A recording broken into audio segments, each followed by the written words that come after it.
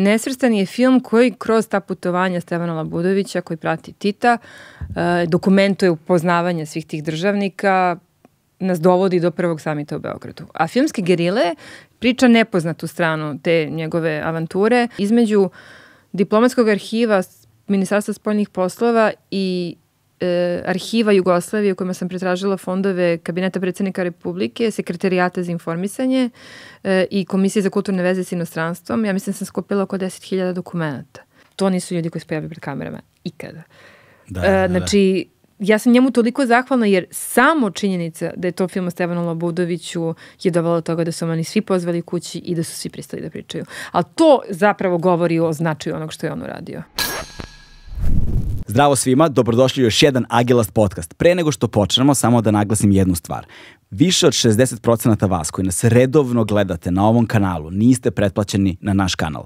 Šta to znači? To znači da je nama veoma važno za poslovni model, zbog algoritma, zbog pozicioniranja na Google, zbog preporučenih videa i tako dalje, a vama to ne znači puno. Ukoliko želite da nas konzumirate još dugo vremena i ukoliko volite da gledate naš sadržaj redovno, molim vas, pretplatite se na naš kanal, lupite taj subscribe, vama je malo, nama znači zaista mnogo i hvala vam beskreno na tome.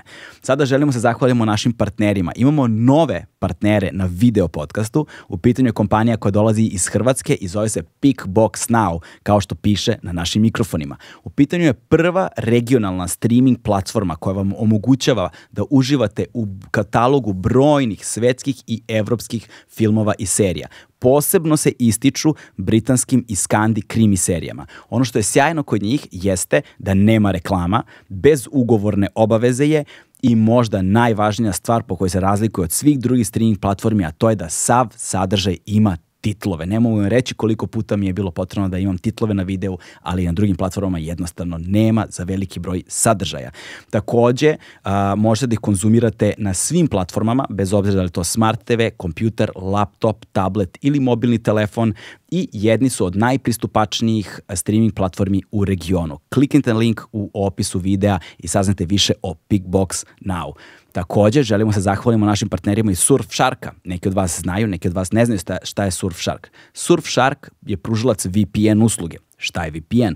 Virtual Private Network. Šta vam to omogućava? Omogućava vam da se sakrijete na internetu. Vaše pretraživanja, vaši downloadovi, vaš, ono što gledate i konzumirate na internetu ili ukoliko konzumirate zadržaj koji je zabranjen za vaše zemlje, vam je otključan zahvaljujući VPN usluzi. Surfshark takođe ima opciju Surfshark One koja vas štiti od malvera, koja vas štiti od web tražilica, ali ono što je najvažnije jeste da vam omogućava organske rezultate pretraživanja, što je danas veoma važno i eliminiše uh, sadržaj reklame koje su pravljene posebno za vas.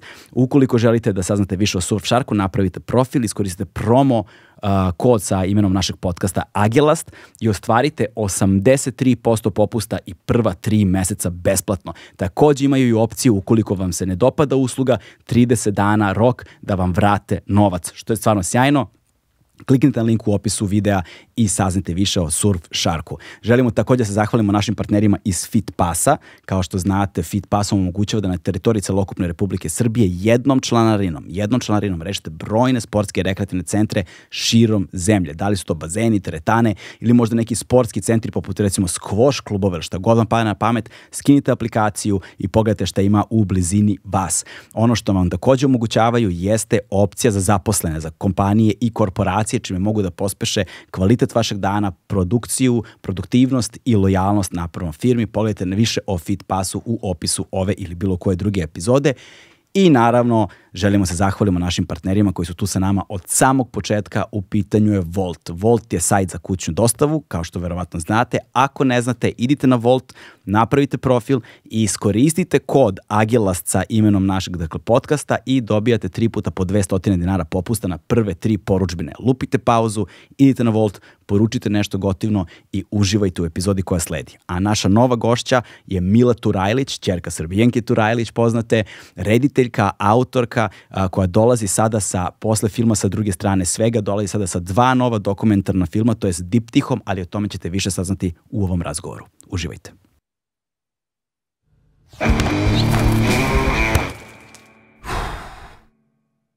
Hmm.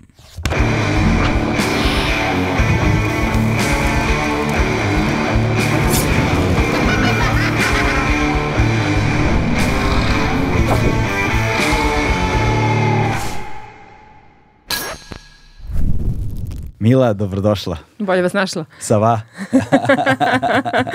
Kako si? Evo dobro, dobro, nekako Jel uspevaš da spustiš ono, energiju i frekvenciju i da se ono, smiriš nekako? Ma ne, ne, sad ja, ali ja to znam, znači naš život je isti ko muzičara. Ti si u studiju snimiš album i onda ideš na turneju. Ja sam sad ušla u tu fazu turneje, meni je jasno ko dan kako će ti izgleda narednih šest meseci, tako da, da. pokušam da, da nekako tempiram, da, da se ne istrošim skroz. ali to teško ide. Teško, pa da. Ovo prvi put turneju sa bebom, tako da... e pa to, kako je sada, zanima me kako izgleda to iskustvo. Čekaj, koliko ti beba sad ima? 14 meseci. 14 meseci, to je sad, okej. Okay. Uh, kako, još malo po godinu i po dana, ali tako? Ovaj, kako izgleda život sa ono bebom u stvari? Sada u tom trenutku, kako posao, turneja, naš intervju i javni prostor, pažnja i zemlju u zemlju. Pa to je sad jako, ne znam, meni to naravno prvi put, pa mi je sve novo. Ona je do sada bila jako zahvalno dete i jako lepo podnosila. Sa tri meseca je otišla sa mnom prvi put na filmski festival, tako da moja mama nas je pratila. Ali, hoću kažem, nekako do sada se, kako kažem, ona uklapala u moj život jako lepo. Polako počinjem da razumem da se ta dinamika menja i da ću jednom toliko početi da se uklapam u njen život. Mm.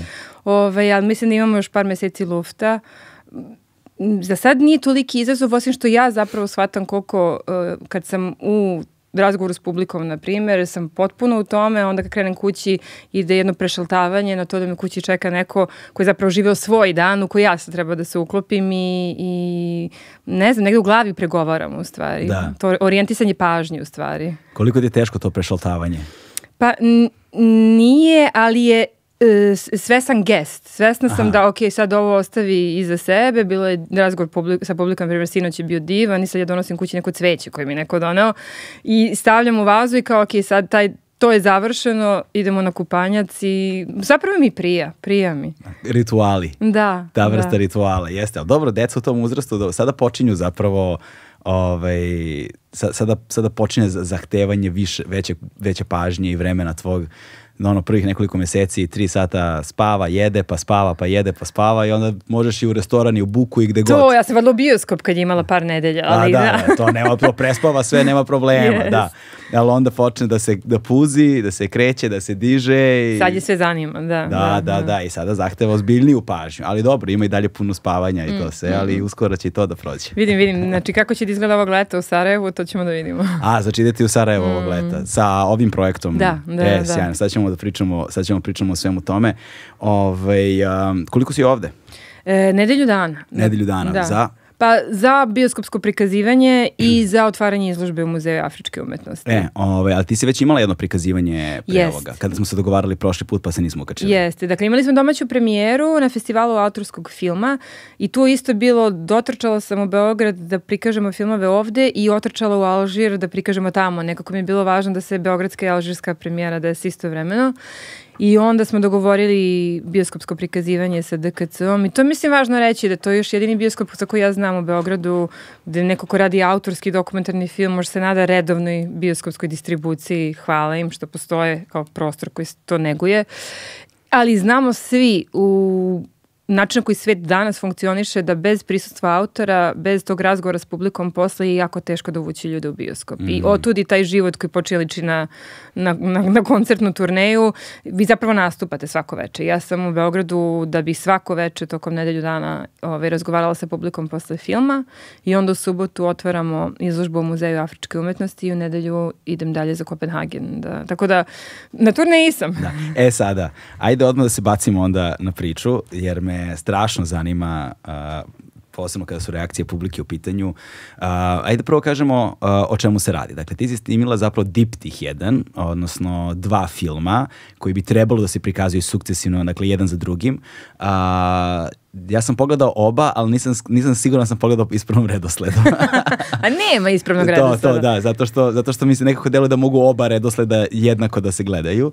A, jedan je bio, ajde, hoćeš ti da kažeš u stvari. Dakle, jedan film se zove Nesvrstani, drugi se zove Filmski gerile, oba imaju isti podnaslova, to je scene iz fonda Labudovića tako da prevedem. E, Nesvrstani prati e, Stevana Labudovića koji je bio snimatelj filmskih novosti, izabran da prati predsjednika Tita kad je Tito prvi put krenuo brodom, Galebom, ovaj, prema Indiji i Burmi i zapravo koji tog trenutka nadalje snimao sva Titova putovanja, ajde kažemo postao Titov snimatelj, ali šta je važnije, je imao priliku da time dokumentuje rađanje pokreta nesvrstanih. Mm -hmm. I onda opet kao Titov snimatelj izabran da prati prvi samit nesvrstanih u Beogradu 61. godine sa color trackom. To je jedan od prvih color filmova koji su filmske novosti napravili. Tako da Nesvrstani je film koji kroz ta putovanja Stevana Labudovića koji prati Tita e, dokumentuje upoznavanje svih tih državnika, nas dovodi do prvog samita u Beogradu. A filmske gerile priča nepoznatu stranu te njegove avanture, a to je da je on od strane Tita poslat da kao gest Jugoslovenske solidarnosti i Alžirskoj slobodilačkoj vojsci napravi dokumentarni film o Alžirskom ratu za slobodu protiv Francuske I od tog zadatka da napravi jedan film je on to zapravo pretvorio u neku vrstu misije, jer je on probao tri godine snimajući alžirski slobodilački rat i ostavio kao neko zaveštanje 83 km filmske trake u Beogradu, depo filmskih novosti. I zapravo filmski gerile prati način na koji filmska slika u periodu 60. godina, u periodu dekolonizacije postala jedan od oruđa, instrumenta, oružja, ajde tako kažem, kojim su te, ove, ovaj, ti pokreti osvojili svoju slobodu. E, Ovaj, to tako kad ispričaš, stiče se jedan utisak, kad se, gleda, kad se gledaju filmovi stikne, stekne se jedan sasvim drugačiji i naš je zadatak da dođemo do ovog drugog. Jer težina a, individualne priče samog Lobudovića, njegovog karaktera koji je, mislim, tema za sebe, ovaj, ali skrivenog blaga zapravo jednog ogromnog potencijala ogromnog potencijala koji je mogao da bude istorijska prekretnica sveta ovaj, koji smo imali ovde koja je ugušena i nestala i zauvek zaboravljena. Težina toga zapravo je nešto što ovako kada znaš kao ispričaš samo a, a, siže jel te onoga što je što je okosnica filmova se ne dobija. Ne? A, I negde um, koliko je zapravo snažna ta veza bila koju smo imali uh, ne samo kroz narodno slobodilačke borbe, već i kroz celokupan, uh, celokupno je svet nesvrstanih. Mm. Znači, to, je, to je jedno ogromno nasledđe čiji tragovi i dalje na neki način postoje. Evo, ja sam jedan. ja sam jedan od tih korena, ovaj, repova, ali svet je manje više zaboravio na to. Yes. I, ovaj, I jedna stvar koja, koja negde uh, ostavlja snažan utisak barem na mene, ovaj, posmatrajući jer sam kao pogledao sad ponovo sve te tvoje filmove, a, a, uključujući i drugu stranu svega, jel te, koje opet govori na neki način, a, ne na neki način, nego vrlo je eksplicitno govori zapravo o svim promenama koje se dešavaju na ovim prostorima ono tokom 20. veka zapravo. Uh, jeste kako ti funkcionišeš na granici života zapravo. Si primetila to? Znači ne. da svi tvoji sagovornici, sve tvoje teme, sve se nalaze na granici postojanja. Znaš? Znaš? Da. I oni fizički sa svojim životima a, i teme u svojim postojanjima i ideologije u svojim tragovima. Sve mm. se nalazi negde na, na, na jednoj graničnoj liniji. Znaš. I ovaj, a, da li se to intuitivno, znaš, ali instinktivno vidjet ćemo. Znaš.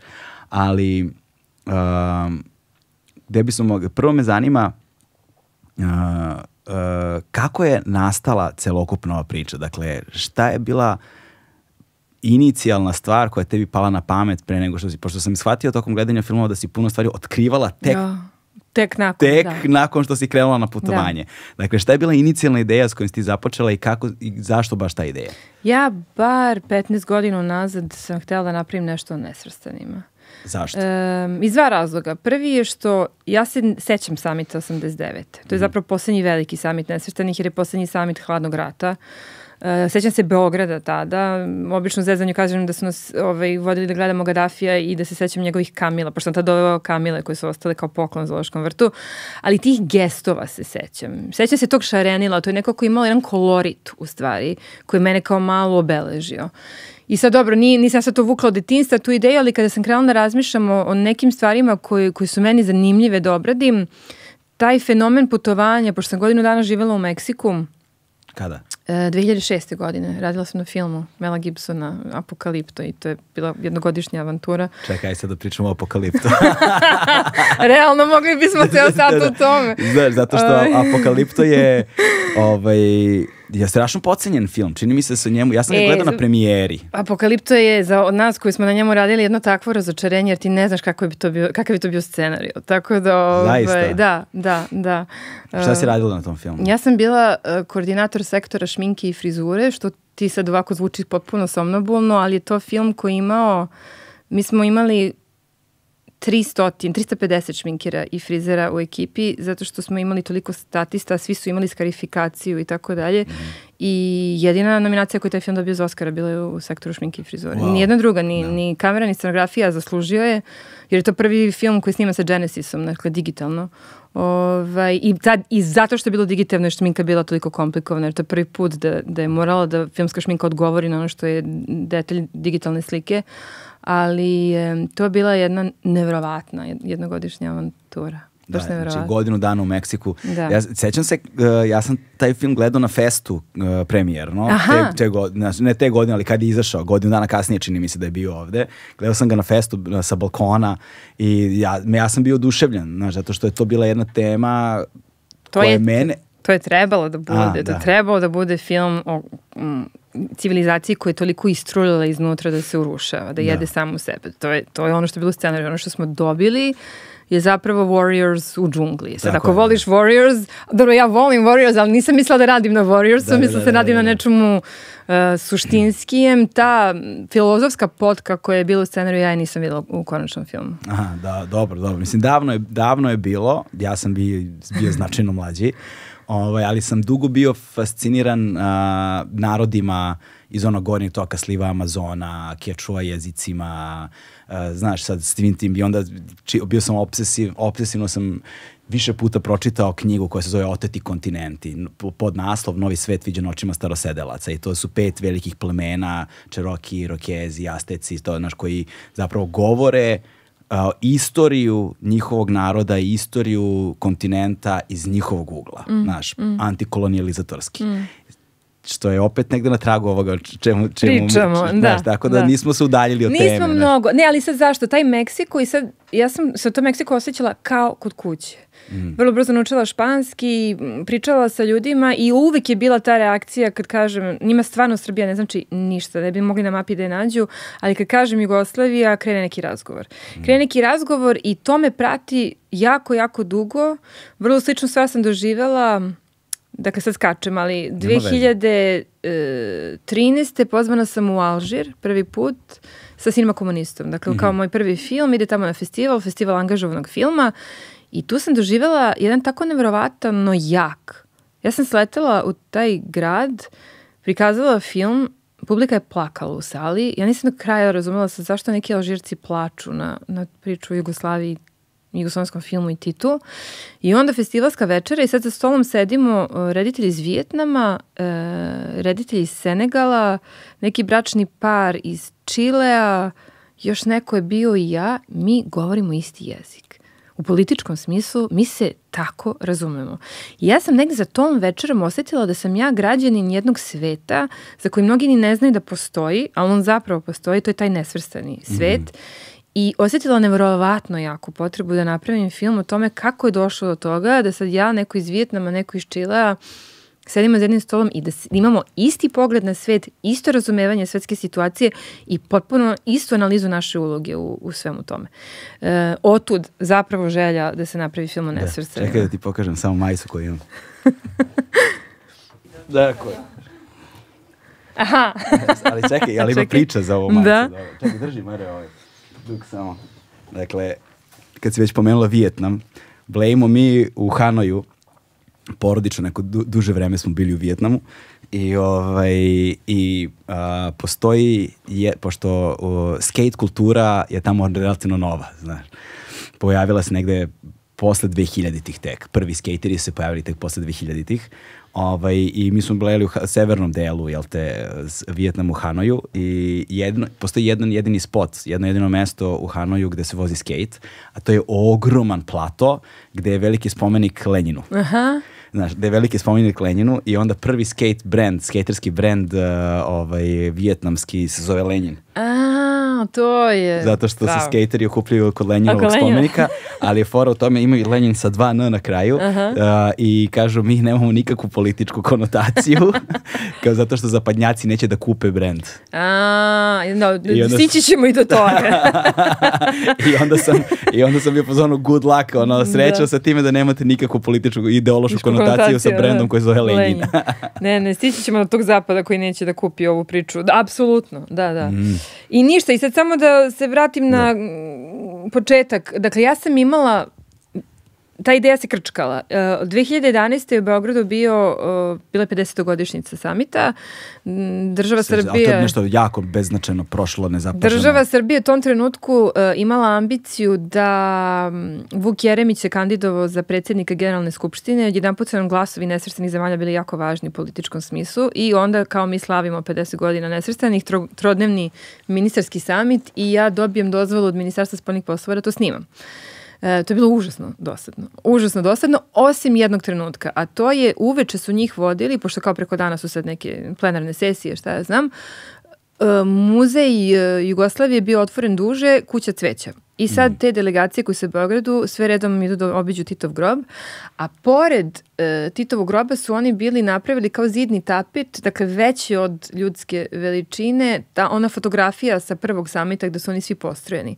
I snimila sam tu jednu nevjerovatnu scenu gde sa te delegacije iz svih tih zemalja dolaze, odaju poštu Titu i onda priđu tom zidu i onda kreće. Ko je beše ovaj? Ko, aha, I onda se slikaju selfie sa Naserom, selfie sa...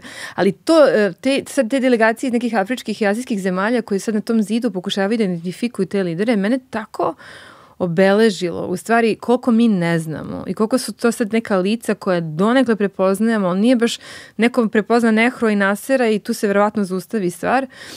Mm, Mene to sve učvrstilo u nameri da ja o tome napravim film. Ono što mi je izmicalo je ključ. Znači, ok, znaš ti šta bi da obradiš, ali treba ti ključ da bi ušao u priču. I zapravo je Stevan Labudović taj ključ. Kad sam njega upoznala, on sam znala. Kako si njega upoznala? Kako? U Alžiru. Dakle, ne, ne, ali to je sad suludo, on je- čovjek živi u Rakovici, ja živim na Slavi, ja sam ju poznajem u Alžiru. Jer šta se desilo? Taj festival, malo prepomenut, ni angažovanog filma, mi je osvojimo Grand Prix sa Cinema komunistom. Ja sam znala, ali to je nevjerovatno, intuitivno znala da ću se ja u tu zemlju vratiti i da ću ja u toj zemlji napraviti film. A, znači, pet dana boravka u Alžiru, ali sam imala toliko jasno, to nije čak ni predosećanje, to je baš znanje da ću ja u toj zemlji nešto napraviti. I godinu dana kasnije oni mene zovu kao pobednika prethodne godine da budem gost festivala, a te godine Stevan Labudović počasni gost na festivalu. I ja ponesem kameru i ovaj, dočekam ga mm, na recepciji hotela. Čekaj, e, da li to znači, sad ja dekonstruišem, da, da li to znači da su poslednji Ne. kadrovi Poslednja scena poslednjeg filma je zapravo prva stvar koju sam ja snimila.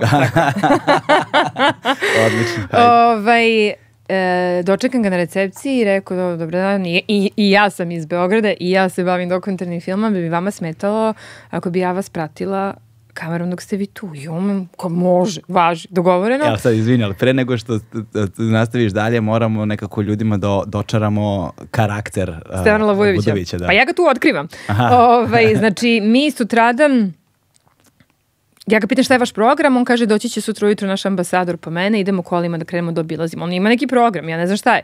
Stiže ambasador, ja sad tu uvaljujem u auto od ambasadora, ali on isto tako spremno prihvata avanturu. Mi sad svi znamo da kad si sa Stevanom, da će to biti avantura. I, odlazimo u Vojni muzej, tamo svi izlaze od direktora nadalje osoblja, Mesila Budović je Tarive, svi trče za Mesila Budovićem.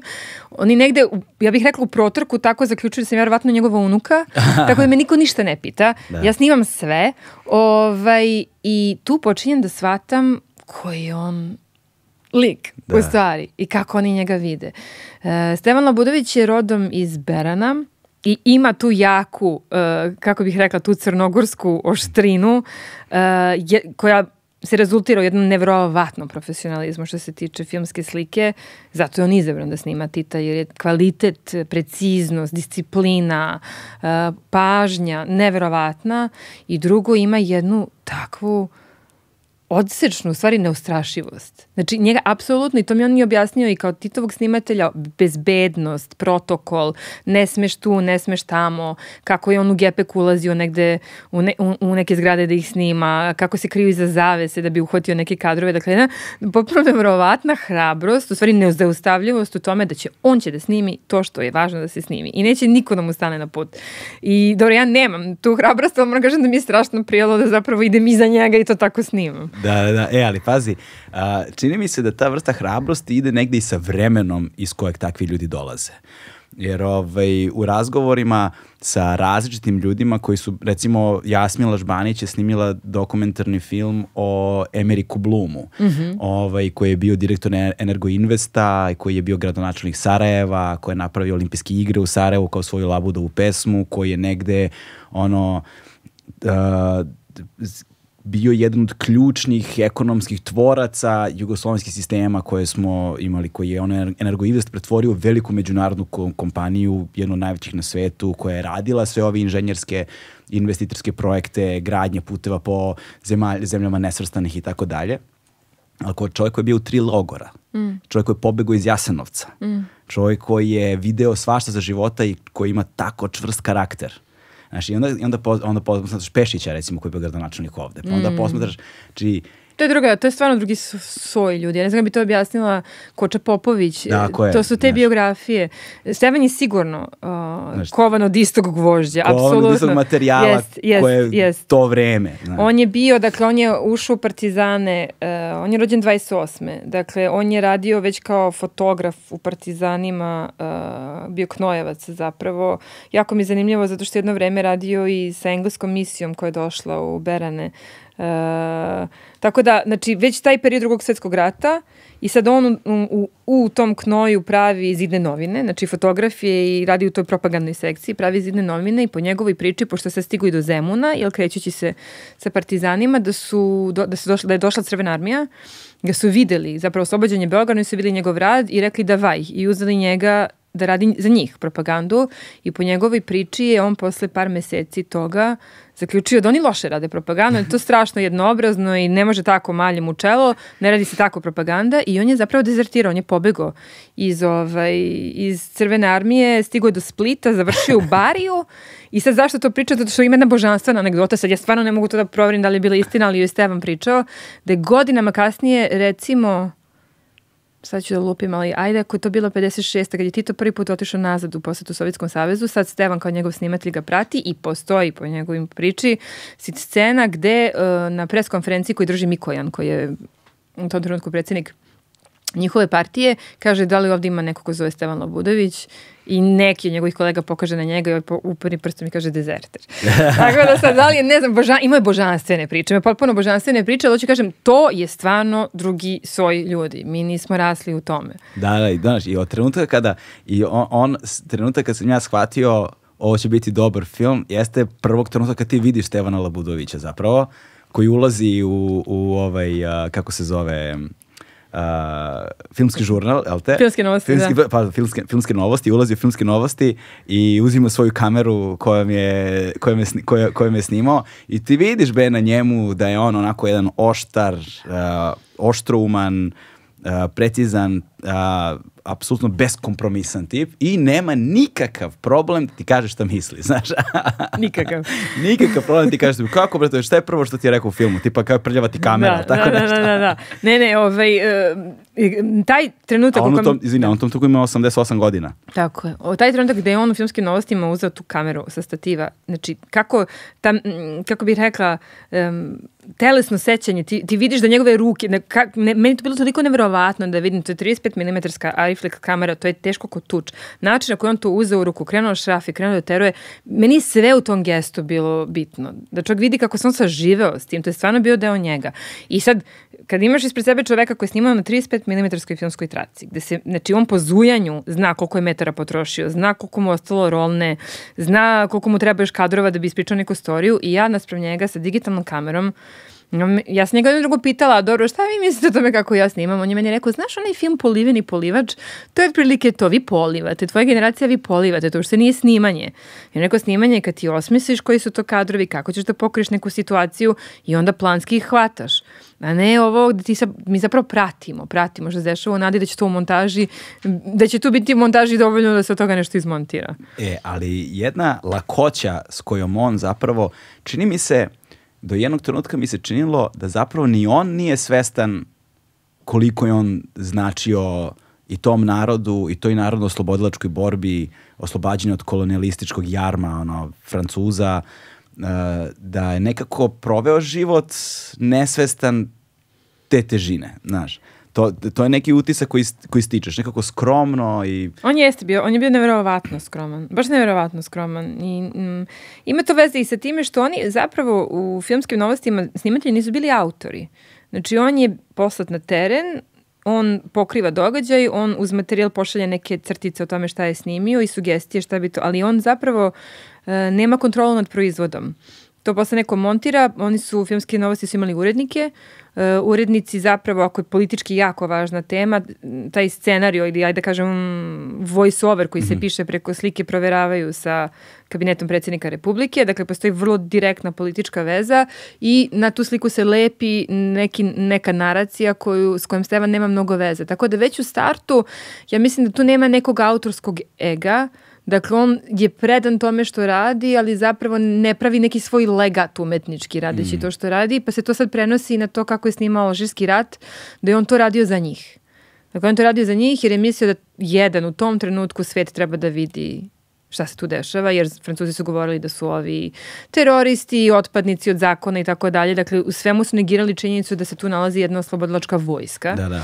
Nego su zaista od njih pravili bandita, je tako da. kažem. Pazi, ajde, da, da, da, morat ćemo, uh, vratit ćemo se na to što ćeš morati prvo daš kontekst alžirskog rata. Bez problema, da, da, da, sad bez problema. Da, da, to, to. Kont, kontekst alžirskog rata, da bi ljudima to što govoriš imalo smisla. Imalo smisla, da, ali samo da se, da se vratimo malo ovaj, još na Labudovića o kojem ćemo da govorimo, nekoliko stvari koje, uh, koje mi se učinilo da nisam video. Prva stvar, čini mi se nisam video spomenik uh, prvi, spo, prvom samitu nesvrstanih koji ovde... Nisi, snimila sam scenu kod obeliska za koji gomila ljudi ne zna ni gde je, nalazi se na Brankovom da. mostu. Da. Snimila sam, kada smo snimali scenu u Parku prijateljstva koja se vidi da. u filmu, gde su sađeni jel, drveće iz vreme samita, snimila sam i scenu kod obeliska, na kraju za nju nije bilo mesta u filmu. A, okej, okay, to, sam, to, to je jedna stvar. Druga stvar, e, nisam provalio da li Budović govori francuski. Da. Govori francuski, da. pošto ne govori francuski na trenutku filmu. Čuje se samo na samom, samom kraju e, filmskih gerilja se čuje kada se pozdravlja sa direktorom muzeja, onda priča s njim na francuskom. A, da. okej, okay, okej, okay, zato što to, to su mi bilo dva ono kao utiska negde. A, a, e, sada, vrati se samo na a, to, dakle, ti njega snimaš ovaj, u Alžiru tih 5 dana, ali tako? To smo bili, bili smo recimo nedelju dana. Nedelju dana, mm -hmm. nedelju dana ovaj, i ti otkrivaš zapravo tada, wow, o, evo je priča, evo ga ključ kojim otključavamo ovu priču. Čak ne, ja, ja tada pratim njega i mislim se da li je moguće da niko ovom čoveku nije napravio film.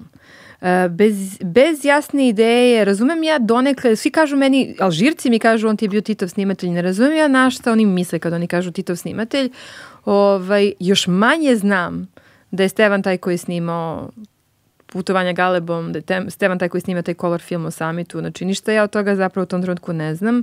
Ja znam svu tu arhivu jer radeći na Cinema Komunistu sam ja pravila pet godina kopajući po filmskim novostima, ali nije mi se povezalo u glavi da je ovaj čovjek sad s kojim se ja šetam po Alžiru, autor tih snimaka koje sam ja tada uh, pregledavala, nije mi se to još sve sklopilo u jedno. Kad smo se mi vratili u Beograd, ja sam nastavila da odlazim kod njih i tu je zapravo veliku ulogu odigrala Stevanova supruga Ružica koja mi dozvolila da im sedim u kući svake nedelje, znači jem ručam kod njih, jem posle i kopamo po nekim kutijama. Ja sam polako, polako krenula da pravim neku vrstu timeline-a gde je sve Stevan Labudović bio, gledali smo kroz njegove pasoše, pa pečate, pa ne, nekoga pokušati da rekonstruišem gde on sve bio i onda paralelno s tim ispisujem istorijske događaje i onda počinjem da kapiram a čekajte, ste vi snimali ovo? On kaže, jesam. Aha, ali ne, nije on to meni rekao, nego ja kad sam napravila timeline i krenula, jeste vi bili na Brionima kad su došli Nasar i Nekru? Jesam. Aha, onda shvatim da on snimio Brionski sastanak. I onda, a jeste vi išli sa Titom u Jedine nacije 60-ih? Jesam. I onda shvatim da je on snimio i tu čuvenu inicijativu petorke. I onda shvatim, znači tu je prošlo recimo Već šest meseci se mi snimamo. I onda shvatim da pred sobom imam čoveka koji ne samo što je svedok rađanja pokreta nesvrstanih, nego ga je izdokumentovao u filmskom smislu. E, kad sam to razumela, onda sam shvatila da imam ključ za pravljanje filma o nesvrstanima. Jer je meni zapravo užasno zanimljivo Ne da ja sad kažem, evo istorijski neki sad didaktički film kako su rođeni nesvrstani, nego što su oni zapravo ja, ja kroz uh, priču čoveka koji je njih filmski snimio, zapravo pričam o tome kako su oni kao slika nastali. To je sad, znači ima tu ta meta ovaj, priča o njihovoj upotrebi filmske slike koje mene zainteresovala. Tek onda, kako kažem, kad stvari krenu da se zgušnjavaju, meni onda postane zanimljivo da o tome pravim film. Da, da, da. Jer onda su, i sad tu kreću slojevi, sad je to meta, sad je to kako jedan pokret pravi sliku sebe, kako čovek koji pravi njihovu sliku to zapravo radi. Znači to onda postane nešto gde onako je sočno. Da, da, više slojno. Da. Više slojno, da, da. Ovaj, dakle, ti si zapravo prvih nekoliko meseci imala neki kao ono, ne znam, ne, ne, ne, ne, neku, neko predosećanje, nešto ti je tu bilo, ali još uvijek nisi imala ono, artikulisano jasno šta bi to moglo da bude. Nisam uopšte imala, nisam imala svest toga da je on svedok svih događaja koji su zapravo relevantni da bi se ispričala mm. ta šira priča. I jer ja nisam ni dovoljno znala o nesvrstanima, sam krenula da čitam, on sam dobila dozvolu od, mini, od um, sadašnjeg ministarstva spoljnih poslova, zapravo nekadašnjeg sekretarija, saveznog sekretarijata za spoljne poslove, da pristupim diplomatskom arhivu. Mm. To je trajalo jako dugo zapravo ta autorizacija. Jer, Koliko dugo? Pa ja recimo sam godinu dana čekala dozvolu. Ovaj, zato što moraš tačno preciziraš koji te zemlje zanimaju u kojem periodu, koja godina, zašto. I sad ja kažem, ok, mene zanima Alžir od 59. do 62. jer je on tad snimao, ali onda kad ja razumem da je on posle toga išao ne znam gde, onda moram da tražim dodatnu dozvolu za dodatne fascikle i znači između diplomatskog arhiva Ministarstva spoljnih poslova i e, arhiva Jugoslavije u kojima sam pretražila fondove Kabineta predsednika Republike, Sekretarijata za informisanje e, i Komisije za kulturne veze s inostranstvom. Ja mislim da sam skupila oko 10.000 dokumenta. E, onda je krenulo sortiranje i onda nađeš telegram, šaljemo vam snimatelja da bi uradio ovo, onda nađeš telegram iz ambasade, pošaljite nam filmove jer bi da pustimo ovome, onda nađeš dopis ambasadora koji kaže mi ćemo da organizujemo nedelju jugoslovenskog filma kada Tito bude došao u Sudan, aha, važi. I počneš da razumeš da ta zemlja, Jugoslavija, imala neverovatno jasnu ideju šta filmom radi. I odjedan pod meni počinje da se otkriva ta, ajde kažem, filmska uloga Jugoslavije u nesvrstanom svetu i onda počne da dobija pun smisao činjenica da Jugoslavija nakon što je sve te zemlje dočekala na samitu u Beogradu, pokazala im Beograd kao jedan modern grad, Jugoslaviju kao jednu modernu zemlju. To je bio jedan prvih televizijskih prenosa tadašnje Jugoslovenske radio televizije. Znači pokazala da u tehnološkom smislu apsolutno vlada najnovijim medijima.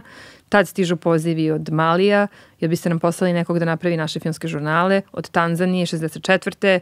Čad, Mozambik i vi odjedna, i ti odjedno shvatiš da su te filmske novosti zapravo, i to je rekao pre neko veče Rali Zelenović na, na, na preskonferenciji, da je Jugoslavija bila kinoteka nesvrstanog sveta. Ali meni to niko nije rekao. Nisam ja upoznala ni istoričara, ni jednog, niti Stevan. Niko meni nije rekao, e, slušaj ti kažem, u Beogradu se zapravo čuva celokupni fond rađanja novih afričkih zemalja koji niko nikad nije pregledao, popisao, opisao ili uopšte pisao o njemu. Meni trebalo sedam godina da sklopim kockice cijele te priče. Da, ljudi, ljudi, ali tu se takođe rađa jasna ideja takozvane filmske propagande. Da. Ono što je strašno. Da, ko, mislim i u drugom svetskom ratu su oni to radili. Tako je, da, ali ovde na jedan vrlo specifičan način, zato što moramo, sad, će, sad ćemo da uđemo u to što je Alžirski rat i zašto je Alžirski rat važan.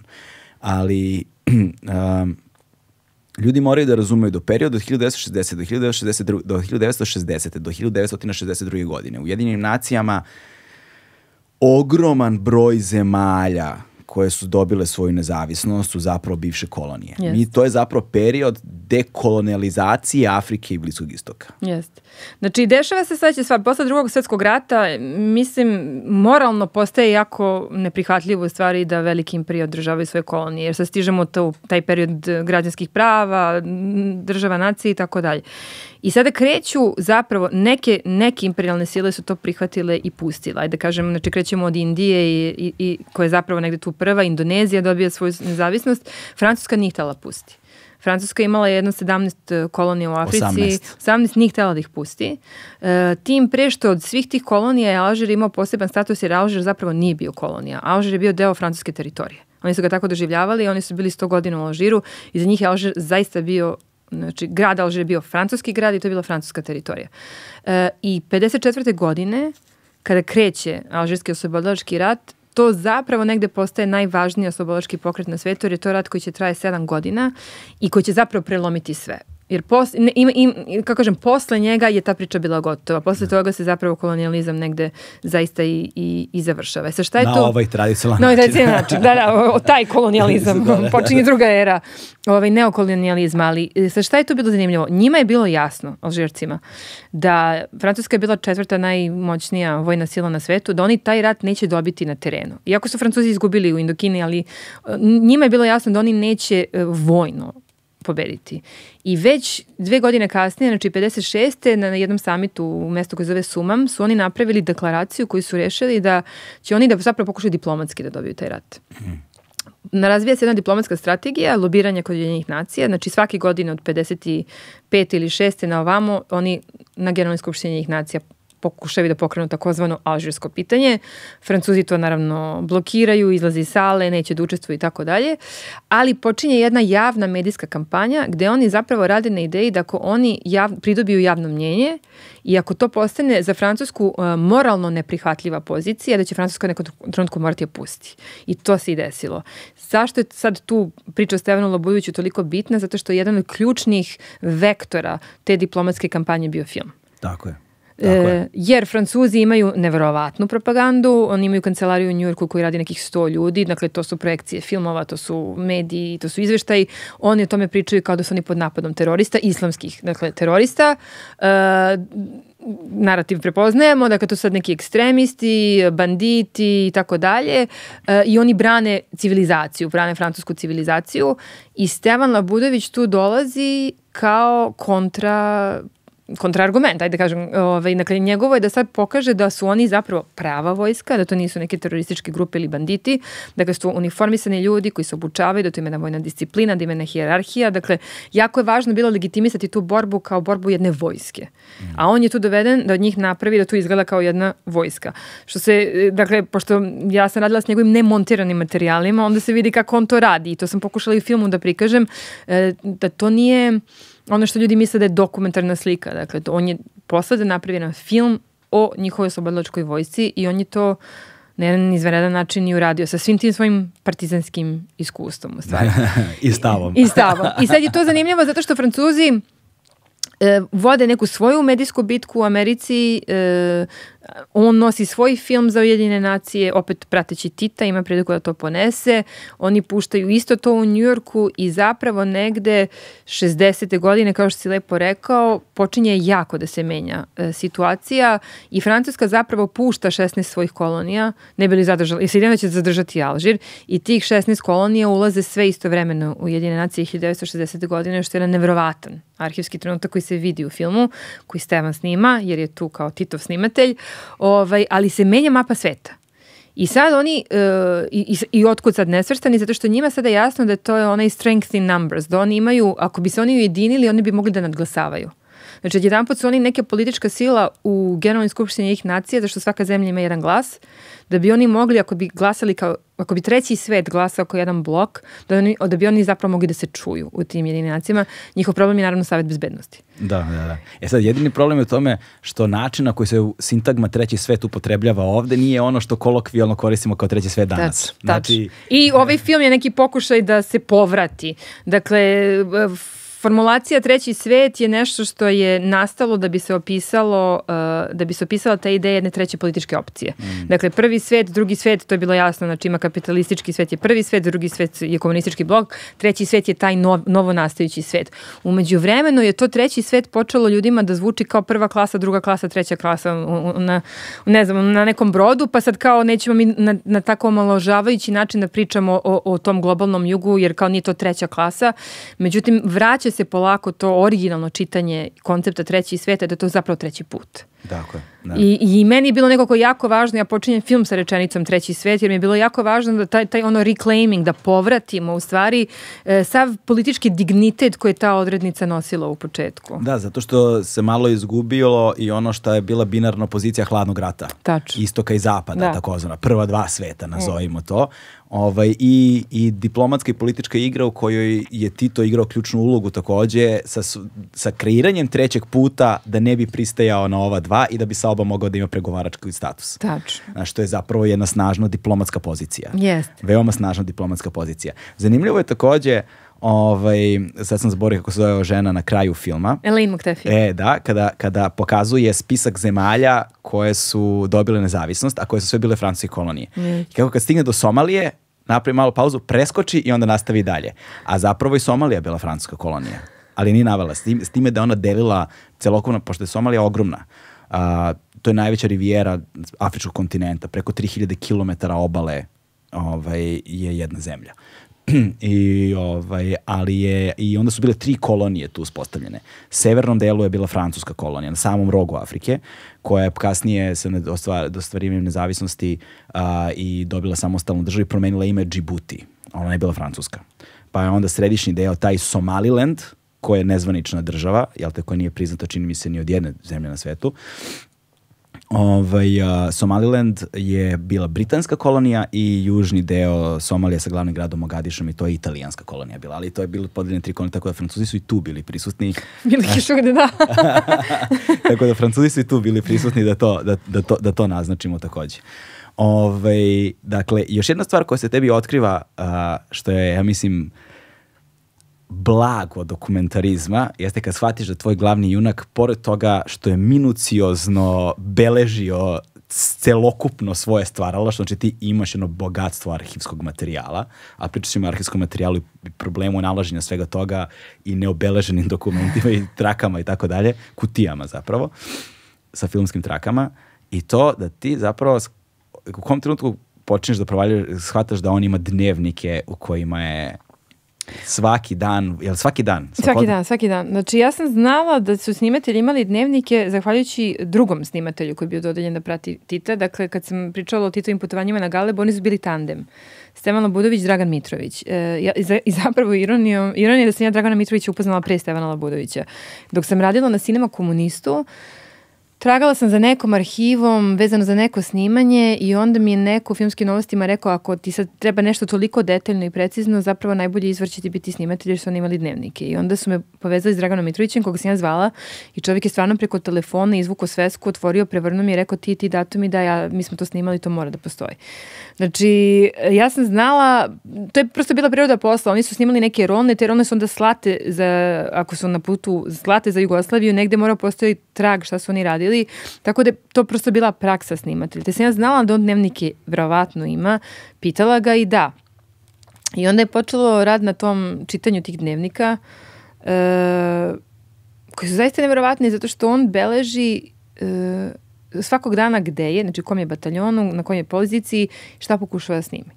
I onda sam pomislila da bi bilo strašno zanimljiv postupak u filmu i Sine Gerija, znači ovaj drugi filmski gerila je izgrađen na tom postupku, da preko njegovih nemontiranih materijala, znači da vidimo sve greške, ponavljanja, prekadriravanja, e, izvučem rečenice iz njegovih dnevnika i da pružim gledalcu priliku možda po prvi put da gleda filmski materijal kroz oči osobe koji, koja ga snima. Da, nekako da, da uđemo u glavu jednog snimatelja i da zapravo gledamo njegove kadrove, čime je zadovoljan, čime nije zadovoljan, gde mu je nestalo trake, da, da to zapravo će u suštini da promeni naše čitanje filmske slike u stvari. Da, da. E sada, ono što je zanimljivo jeste da a, ti dnevnici nisu bili samo ono suvoparna, suvoparni izveštaj onoga što je on radio na terenu, što bi očekivala od nekih dnevnika koje je obavezan da piše. Ne, ovo su intimni dnevnici. Nego su znači, intimni, ovo su inti- bukvalno intimni, dnevnici, gde se da. on bori sa egzistencijalnim problemima, sa strahom za sopstveni život, sa mukom za te ljude, poistovećivanju s time da je on postao deo al, alžirske narodno-slobodilačke borbe, strahom da će se ikad vidjeti ponovo svoju domovinu. Da, ima kad piše kako hvata Radio Beograd ovaj, i onda se zamišljaš njega na nekim vrletima alžirskim kako sluša uveče Radio Beograd. Ima divnih, divnih stvari. Da. Da, znaš, to je, i sad, kompozicija toga zajedno daje ti i, on, i tu negde počne ti se odmotava zapravo ko je bio taj lik, mm. znaš, mm. i koliko je i koliko važno mesto negde u istoriji on ima. I, i ti si napravila, zašto si pravila diptih? Zašto sam pravila diptih? Uh, u startu nisam. Da. u startu je to bio film o njemu I onda negde, recimo, posle godinu dana montaže, počela sam se dešava jako čudna stvar. Znači, to je bilo predugačko. Mi nismo nikad uspeli napravimo raf cut koji je bio manje od dva i po sata a da ispričamo sve što se nam misla treba da se ispriča, ali nam se dešavala jako zanimljiva reakcija, znači počeli smo neke probne projekcije, jer u nekom trenutku sad ti počeš da se pitaš, ok, ja sam previše o materiji, šta se tu razume i kreneš da puštaš drugim ljudima, bez izuzetka su nam svi govorili koliko je to jako zanimljivo, ali da jednom trenutku imaju osjećaj da su ušli u drugi film. Mm. I onda kad pitaš, a gde je taj trenutak sa Alžirskim ratom? Zato što je postupak snimanja bio drugačiji. Ja sam u Žiru intervjuisala jako mnogo njegovih uh, ratnih drugova. Dakle, komandant bataljona u kome je snimao, koji je još uvijek bio živ, politički komesar Alžirske oslobodilačke vojske koje je osnovao tu filmsku sekciju. Bilo mi je strašno važno da, pošto je to alžirska priča, da ispričaju Alžirci. I da oni nam, u stvari, tumače na koji način su oni koristili tu filmsku sliku koju Labudović pravio. Ali u sklopu jednog dugačkog filma o Stevanu Labudoviću to zaista je bio skok u formalnom smislu. I tu odatle negde kreće kod mene razmišljanje da ja zapravo pokušavam da izvedem dve različite stvari. E, jednim delom pokušavam da napravim film koji je eseističkog tipa u kome e, ja zapravo pravim film o pravljanju filma. Mm -hmm. Znači gde ti pratiš kako ja otkrivam i sklapam ovu priču u toku njenog pravljenja, jer to, kao kažem, nije, nije to bila neka knjiga koju neko napisao, ja pročitala i bilo fazono daj da ovo snimimo, nego je to stvarno bilo nešto što niko nikad nije ispričao, što sam ja pokušavala nekako da ulovim. A drugo je ovo šta znači biti e, snimatelj koji ode u stranu zemlju i dokumentuje oslobodačku borbu te zemlje i s kojim ciljem. I negde posle godinu dana ozbiljnog udaranja glavom u zid, smo mi zaključili da to može se razdvoji. Mm. Ali da se naprave dva filma tako da uh, jedan je rađen jednim stilom, drugi je rađen, znači ni, ni ritmički, tu se ništa, ništa nije isto, ali sa idejom da ako bi pogledao oba, da bi bilo ono 1 plus 1 jednako 3, da bi dobio nešto veće, iznad, ovaj, jer bi ušao jedan svet zapravo i kad, kad, kad sam stigla do te ideje da to mogu da budu dva potpuno različita filma koji zapravo možeš da vidiš jedan i da nikad ne vidiš drugi. Ništa tebi neće faliti, ali da ako bi odgledao oba, da bi se desio neki spoj u glavi, onda sam zaključala na prim diptih. E sad, ja nikad nisam videla filmski diptih, niti nisam baš sigurna da to ljudi generalno rade i sad se suočavamo sa svim nedumicama izbacivanja jednog diptiha. Znači, A. nije što očigledno. Ja, mnogim ljudima je teško da razumeju da su to dva filma. Da, to se da. dešava redovno, svako večer u DKC-u ljudi, aha, čekaj, to su dva filma, jeste, to su dva filma. Znači, nije baš lako, u stvari, e, predstaviti publici jedan diptih, ali sam ja sad jako srećna, mislim da je svaka, oba aspekta te priče su po meni ispričane onako kako sam ja htela. Mm. Da, dobro, pazi. A, ja sam ih pogledao jedan za drugim. Znaš, ja sam ih pogledao jedan za drugim. Ovaj, prvo sam pogledao, kako bih ja to nazvao, prvo sam pogledao film o nesvrstanima. Dobro. jer, jer prvi mi je nekako to, da, znaš. Da, da. Prvi mi je zapravo nekako to o nesvrstanima kao jednoj snažnoj ideji koja je stigla do pretposlednje koraka realizacije i ugušena u potpunosti bila. Znaš. Ovaj, I da se negde uh, zapravo sam stekao utisak da se ta priča o nesvrstanima priča kroz ugao da nam je zapravo ko nam priča priču, priča nam je ono kamera Stevana Labudovića, znaš kao da je, da je, to, da je to ugao, a da onda slučajno otkrivamo da taj isti Stevan Labudović u jednom trenutku pre nego što je došao to da snima, jer je on zapravo iz Alžirskog rata povučen da snima samit. Da snima samit, mm -hmm. da. Mhm. Da zapravo mi otkrivamo, čekaj, čekaj, ali ovaj čovjek ima još jednu neverovatnu priču hajde da vidimo koja je to priča i da je to drugi film. Jeste. Ja sam, znači, način na koji to sad ide u bioskopu u DKC-u je u 6 idu nesvrstani, u 8.30 idu filmske gerile. I meni je to negde logično. Ima ljudi koji su gledali u suprotnom smeru mm -hmm. i opet, i onda, onda, onda, onda su oni zapravo videli nešto što je e, skoncentrisana priča, a onda videli kontekst u kome je ona nastala. I to je, mislim, meni, mislim po meni si gledao u pravom redu, sad da, to da, ti da, kažem. Okay. Dobro. E sada, a, ono što mi je zanimljivo jeste um, uh, kako bih to sad artikulisao, kao neko poverenje koje postoji unutar sistema, jer ti kažeš, dakle, bili su snimatelji, snimali su taj materijal, recimo u Alžijskom ratu i slali su taj materijal mm. nazad. Mm. Da taj materijal neće nestati. Jo, da, to je, ja sam njega to nepekidno pitala. Znači, čak i putovanja mira, oni plove 90 dana. do Indonezije i nazad. Staju u Indiji, pa u Burmi, pa na Ceylonu, u Sovjetskom kanalu. I sad njega pitam, a, a Jugoslavija prati u realnom vremenu taj Titov pust. To je 50. Indonezija je bila 59. 59. godine. Ja njemu kažem, kako ste vi to radili? On meni kaže, pa slali smo trake poštom. Ja kažem, diplomatskom poštom. On kaže, ma šta ti pada na pamet, diplomatska pošta je išla jednom mesečno običnom poštom. I kažem, kao, kako? Kaže, evo, na primjer, u Burmi, mi završimo snimajući dan i onda oni nastave u kola, mi smo negde, ono, pošto sad ti to obilazio zemlju, i onda nastave kolima i kolima do Ranguna i ja tamo na, na poštu i onda se svađam s njima dok im ne objasnim da to ne može se skenira, da je to filmska traka, ne, ne može prolazi kroz rengen i nadam se da je niko neće osvetliti na putu do Beograd i to ode za Beograd. I ja kažem, ja se desilo i kad se neka rolna izgubi, on kaže nikad. Nikad. Meni to, meni ja već tu, jer sam mi u nekom svetu FedExa, DHL-ova gde sve nestaje i mislim pakete tražiš danima, da. nikad im se nije izgubila ni jedna jedina rolna. E, Alžirski rat je vrlo slično funkcionisao, dakle on je snimao na granici između Tunisa i Alžira, onda bi išao kolima za grad Tunis, u našoj ambasadi u Tunisu bi ostavljao rolne, to bi bilo slato za Beograd, u laboratoriji filmskih novosti gde se ta rolna razvija, mm. montira, onda iz Alžira stiže uh, neko, neki Alžirac koji sad u toj filmskoj sekciji vojske, koji onda s njima sedi i piše naraciju i onda se to snima na srpsko-hrvatskom, engleskom, francuskom i arapskom, prave se različite verzije i donosi se i muzika iz Alžira, sve se to tu uradi u Beogradu, naprave se sve te kopije i onda se one šalju našim ambasadama u svetu Dakle, Jugoslavija je u tom trenutku druga ili treća zemlja uh, po broju konzulata i diplomatskih predstavništva koji ima u svetu, to mi je rekao Budimir Lončar. Dakle, neverovatnu diplomatsku mrežu ima. Svakoj ambasadi je bilo poslat na, pokre, na poklon 35 mm projektor. Oni vrte te filmove, daju te filmove kao poklone, uh, to ide u jedinje nacije, to, i, i to, i Jugoslavija je u centru neke mreže distribucije zapravo tih filmova. E sad, ono što je tu važno, jedna stanka samo mala, a, o tome kako su i na ratištu prikazivali filmove, yes. da ne zaboravimo, samo ako ja zaboravim, setit ćeš se. da? se. Ovaj, dakle, um, a, zanimljivo je trenutak u kojem meni kao gledalcu postaje jasno koliko je zapravo taj materijal važan i koliko igra ključnu ulogu u borbi protiv kolonijalizma Narodno-slobodilačkog rata Alžira jeste kada te iste materijale vidiš iz uh, arhiva drugih zemalja. zemalja. E sada, zanima me, ti ćeš reći šta, kako to izgleda i kako, kako si ih ti nabavljala, pošto ti tu imaš i Nemačku i Francusku i A, šta još imaš, američku? Ima američka, tako, ima da. i kubanska. Kubanska, tako, tako je. Da, da. Znači ovako, u filmskim gerilama ono što vidimo je na koji način materijal koji je snimio Labudović e, se deli, dakle, e, filmske novosti su bile u Svetskoj asocijaciji filmskih žurnala i oni se ra, zapravo razmenjivali, to kao neka berza, oni razmenjuju istorije između sebe. Međutim, vi šaljete sliku, a oni tamo pišu svoj komentar, svoju naraciju koji ide uz.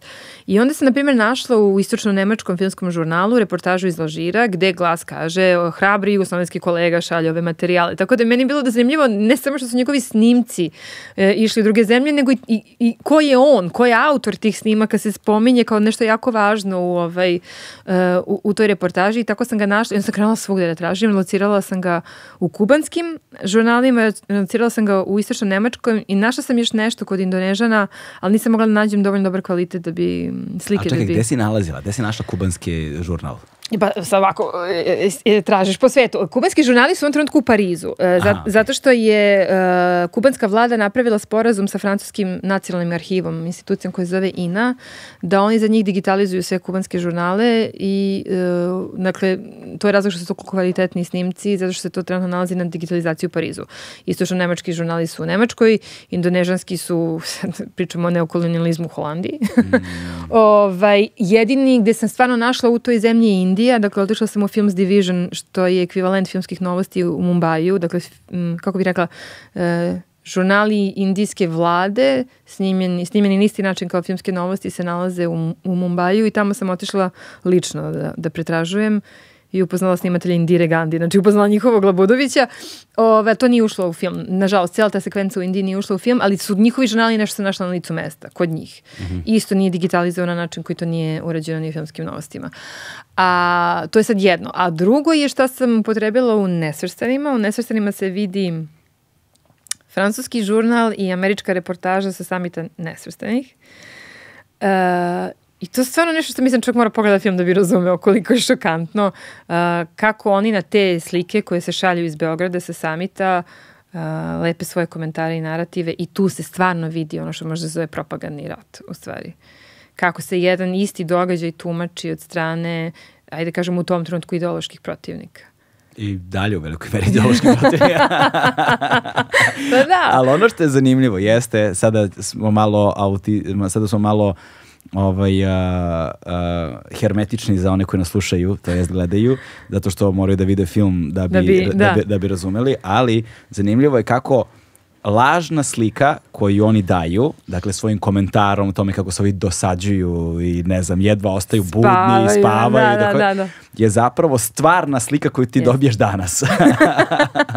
e pa to je, da, vidi, dakle ima, zaista, u tom francuskom izveštaju sa samita oni su izabrali uh, kadrove ljudi koji izgledaju kao da spavaju, vratno su im sklopljene oči da slušaju, ali nije ni bitno i preko toga lepe ovaj, neki komentar kako je to ti nesvrstani to zapravo nije ništa zanimljivo jer su, eto i sami delegati spavaju na, na sednicama. Kao Sad, ti, ti to nešto priča, vidi ovaj spava, spava ovaj da. spava iz ove zemlje jedva sluša, iz one zemlje ne može da drži glavu, bud, ne može da bude budno. E sad, koliko je to pokvareno kao gest, se može vidjeti ono što sam ja uradila, ovaj, a to je, e, obzirom da je Stevan snimao, dakle pratio je predsjednika Tita 1960. godine, Tito prvi put odlazi za Ameriku brodom, da bi se obratio na Generalnoj skupštini njih nacija. Dakle, to je svaki godin u septembru se svi državnici, kao što znamo, to se radi i danas, skupljaju u jedinim nacijama na otvaranju Generalne skupštine.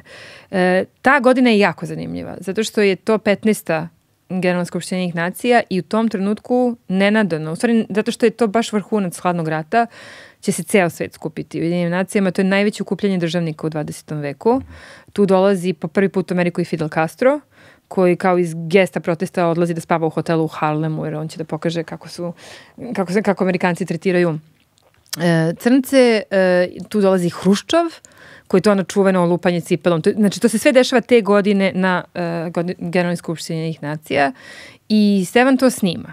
Pošto je taj materijal toliko nevrovatan e, pun te neke energije, a ja sam inače zamislila ovaj film kao neki road, arhivski road trip. Dakle, mi idemo tamo gde je išao i on, tako odemo na Galeba, tako odemo u Alžir on nije mogu da ide sa mnom, sam ja rešila da, da snimam Generalnu skupštinu ih nacija. Sve sa nekom idejom tražimo tragove te ideje, tražimo tragove te energije i suočila se sa jednom zapravo neverovatnom scenom gde sam ja ono što sam ja videla, i Ujedinjene nacije koje sam ja videla i snimila, apsolutno nemaju veze sa Ujedinjenim nacijama koje on video i snimio, jer sam ja bukvalno snimila te ljude koji spavaju. Ovog puta stvarno spavaju, znači nije, nije ta ovaj fiktivna slika, nego su oni stvarno spavali. Ja sam bila toliko razočarana u stvari tim nedostatkom energije koji sam ja doživjela u jedinim nacijama, to, jer ja, ja sam od, od verujućih, neki neko ko zaista mislio da te jedine nacije imaju nekog smisla i tako dalje, um, da je ta scena ušla u film tako na jedan malo poražavajući način da li je to sad fair slika Ujedinih nacija danas ili nije,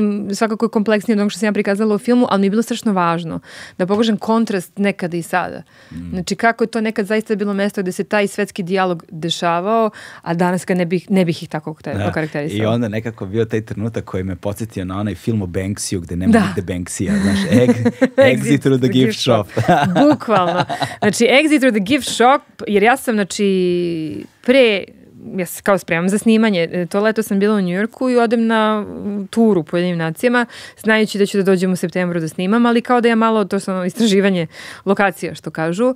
Tura jedinih nacija izgleda tako što oni tu vas vodaju sat vremena, pričaju jednu potpuno onako vanila priču koja nema nikakve veze sa svetskom situacijom danas i onda te stave u lift i spuštaju u podrum i kao and here's the gift shop i izlaz vam je kroz gift shop. Ja nisam mogla da verujem da se iz Ujedinjenih nacija izlazi kroz gift shop i tad još rešila da moram snimim scenu u kojoj će to da se vidi. Jer po meni to govori, kao što kod Banksy, to, po meni to govori sve. Tako je. Bukvalno. Da, da, da. I onda nosiš poklone njima.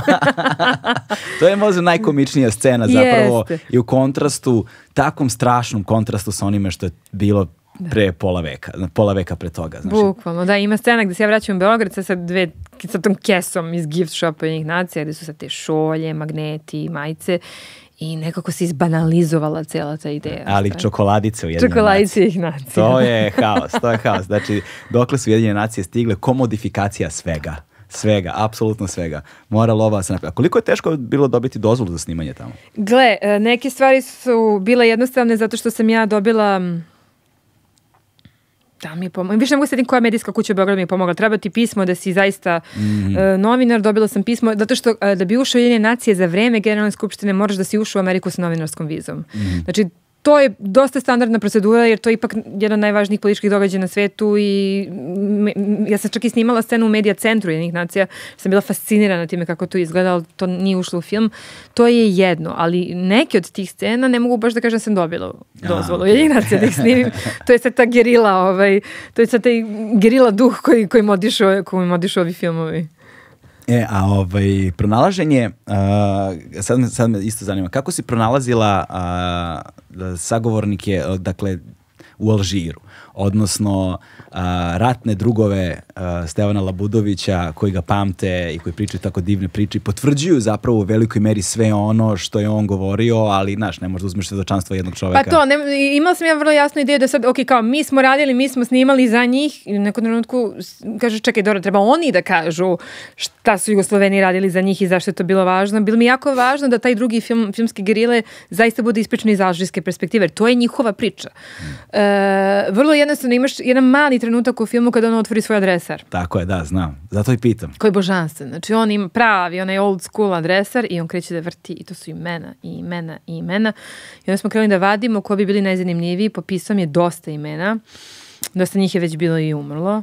E, ali sam ja, ali to je sad to kako ime Stevana Labudovića otvara vrata. Znači ja sam stigla u Alžir, krenula da okrećem te telefone i, i sve je to zapravo ušlo u film jer sam mislila da je važno. I kad Ali kažem... čekaj, ali čekaj, ti si istim tim brojevima dobila te iste ljude. Da, To je, to je ono, dakle, da, za- znači, ti si zvala fiksne ja telefone. sam zvala fiksne telefone. Da. fiksne telefone i ti ljudi su toliko godina kasnije i dalje To je živite ta generacija. Da, to je da. ta generacija. Ove, I onda kad ja kažem dobar dan, meni Stevan Labudović dao vaš broj, može. Da, isto. Jer, jer inače ne može. Znači ti ljudi, to je ono što se u filmu ne znali, je jako važno. E, ljudi koji su bile ključni e, ljudi u Alžirskom oslobodilačkom ratu su postali ključni ljudi u alžirskom političkom sistemu posle, e, kad je izvojena sloboda. Tako se namestilo da e, je, na primjer, komandant jednog od bataljona u kome je Stevan snimao, Šatli Benđedid, jedno vreme bio posle predsjednika Alžira. Tako se takođe namestilo da je Huari Boumedienne, koji je bio zapravo šef generalštaba Alžirske oslobodilačke vojske, s kojim je Stevan proveo jako mnogo vremena u ratu, ostao njegov bliski prijatelj posle rata i čak kumovao njegovoj čerci. Mm, dakle, Stevan je bio... filmu. I to nema filma. Ću kažem da je Stevan Labodović u toj meri bio lični prijatelj e, sukcesivnih predsjednika Alžira, da, na primjer, e, Šadli Benđadid, kad je dolazio u zvaničnu posetu Jugoslaviji kao predsjednik Alžira, spavao kod njih. Stvarno. To je priča njega i njegove supruge. I zaista, znači to su neka lična prijateljstva, samo što hoću kažem da e, sticam okolnosti su oni svi postali neki čelni i vodeći ljudi u Alžiru posle rata. I na primjer Sadi Selim, koji je jedan od ljudi intervjuisan u filmu, koji je bio komandant tog 18. bataljona u kome je Stevan snimao, je posle bio ministar transporta, pa energetike, pa onda za vreme 90-ih i ozbiljne političke krize u Alžiru ministar unutrašnjih poslova. To nisu ljudi koji se pojavljaju pred kamerama ikada. Da, E, da, da. znači, ja sam njemu toliko zahvalna jer samo činjenica da je to film o Stevanu Labudoviću je dovelo do toga da su oni svi pozvali kući i da su svi pristali da pričaju. Ali to zapravo govori o značaju onog što je on uradio. Mm, I koliko je to zapravo bilo važno. Wow, čoveče. A s druge strane, on u Rakovici, Da, on rak... Šeta se po kraju, priča sa komšijama i, i niko zapravo ne zna. Ne zna. E to je taj zaborav je čini mi se možda jedna od najsnažnijih poruka naš Mm. I, i, i ime se završava zapravo sa kako iz luke izloče galeba, Yes. jel te, znaš, ako zarađalog i propolog i bez motora i bez Da. ičega i- je negde simbol te ideje, ideje. Način gde je ona završila na ono smetlištu sećanja na neki način. Meni taj galeb bio toliko važan zato što je taj galeb kao brod, znači apsolutno postao simbol jugoslovenske diplomatije. I ja sam našla, na primjer, kad sam bila u, u New Deliju, ljude koji se sećaju galeba kao broda. Dakle, sad to su već nekih jako stari ljudi, ali se oni sećaju Titovih dolazaka, jer je Tito, na primjer, dva put slavio Novu godinu u Indiji na Galebu. Mm. I bila je majka jednog mog prijatelja, ona je žena rasla u Kalkuti, ona se sećala od Titovog broda. Dakle, taj Galeb je stvarno bio simbol nečega. I onda ta scena koju sam snimila sa Stevanom kad smo otišli da obiđemo Galeb danas, toliko rečito govori, ta olupina zapravo toliko rečito govori o tome šta se desilo s tom Jugoslavijom, da mi je ta scena bila, mislim da mi je oboma bila jako teška za snimanje. Mm. Da, bilo je, da, ali bio jedan trenutak kada je Stevan rekao nemoj da snimaš. Ah, jest, bilo ih je dosta. Bila. ali jedan, jedan je ušao u film. Jedan je ušao, jedan, yes. jedan, jedan je ušao u film. Što ipak govori negde kao kontrast tome, jer on je sve vreme nekako nenametljiv i sve vreme nekako sve lagano i onako ima uglavnom kad ima neki komentar je to ovo je budala, ovo je glupo, ovako ne treba, tebi prljava kamera, znaš, to su. Da, da. Ali za, i ne dobiješ puno emocionalnu, emotivnu stranu Labudovića sem u tako nekim trenucima kada zaiskri i ovaj, pokaže zapravo da sad ja zaključujem, znaš, nema, nikog, nema nikakvog pitanja iza toga, znaš. Ovaj, uh, Ne, ali pazi, tako si se nečeg, e, što sam već imala kao iskustvo na Cinema komunistu. Dakle, u, u Cinema komunistu jedan od uh, protagonista filma je Leka Konstantinović koji je bio Titov kinooperator. 32 godine staje u mraku svako veče iza Tita i puštamo filmove. E, iz te pozicije, neko ko stoji jel, pored predsednika i on naravno video i čuo svašta. Ono što je meni bilo nevjerovatno markantno kad sam sarađivala sa Lekom Konstantinovićem je da on o tome nije pričao. I e, ti ljudi koji su bili u tom nekom najintimnijem Titovom krugu. Zapravo su ostali nekako strašno verni toj ideji da oni ne otkrivaju to čega su oni zapravo bili slučajni svedoci i nisu nekako su um, do kraja se držao, ja da kažem, tog kodeksa časti. Mm. I na isti način na koji, na primjer, kad sam pričala sa Koljom Čajkanovićem koji je bio prevodilac ti tu, taj, taj kodeks prevodilački da ti ne prepričavaš to što si čuo uh, i, u, iza zatvorenih vrata kao prevodilac, da, se, da to nosiš sa sobom u grob, e ovi ljudi su imali potpuno isti kodeks časti. Oni su svašta videli, svašta čuli, ali oni to čuvaju zato što je takav, to je bila privilegija njihove pozicije. Stevan imao potpuno istu stvar. Mm. E, dakle, on je meni puno stvari nagovestio. Ja sam razumela da tek radići sa njim, čovjek bi mislio Titov snimatelj, to je sad kao on putuje, ta neprekidna, u stvari, pregovaranja, on, to, on njih zvao bezbednjaci, znači ta neprekidna pregovaranja sa Titovim bezbednjacima i ljudima koji čuvaju Nehrua, Nasera, Kennedy-a, koga on takođe snima, Fidela Castra, um, to se naravno u filmskoj slici ne vidi, ali se on zapravo za svaki od tih kadrova izborio. E, ali on, hoću kažem, znači, on je meni jako često te stvari nagovještavao, ali mi nismo ulazili u detalje toga. U stvari, da, da ima ta jedna komponentna obaveštajno bezbednostna zapravo, koja naravno prati sve te e, vođe u kojoj on mora da se snalazi, navigira, e, do, nekako dovija da bi stigo do one slike koju on želi. Mm. I meni je bilo jako zanimljivo. Da, s druge strane, ovaj, je fascinantno, znaš, kao sad se tu steče, koliko je to jedan odnos vremena, dakle, to je prosto bilo nešto što je normalno bilo za to vreme i onda nemaš u odnosu na šta da ga, sa čime da ga porediš, pa ga ni ne pominješ, jer mm. si naviknuta na to i kao to je tako, znaš, i onda ne vidiš u tome neku posebnu vrednost dok je neko ne istakne, mm. s jedne strane. Ali s druge strane takođe pokazuje koliko ideja može da bude jaka koliko vera u nešto, ideja u nešto može da bude jaka. Što onda negde, nas negde navodi na zaključak, na, ne na zaključak, nego na kao otvoreno pitanje, uh, da li je takvu ideju tako lako ubiti? Znaš, da li ta mm. ideja možda negde i dalje postoji? A ta ideja sigurno postoji. I sad se vraćamo na tu festivalsku večeru o Žiru gde sam ja osetila da se nešto rađe u meni kao, kao film koji ću da ovaj, napravim. A to je da uh, negde sam ja u radu na ovom svemu, posle sedam godina, shvatila da ono što mene zanima u toj nesvrstanosti nije nužno ni taj politički projekat koji se tako nekako izjalovio i, i urušio. Iako pokret postoji i danas, ali zapravo pa puno marginalizovan. Nego činjenica da su oni uspeli da posade u nama zapravo ne, neko seme, neku klicu prepoznavanja. Mm. I da zapravo mene zanima to na koji način neki ljudi u sebi nose tu ideju nesvrstanosti koja je zapravo uvek praćena tim gestom solidarnosti.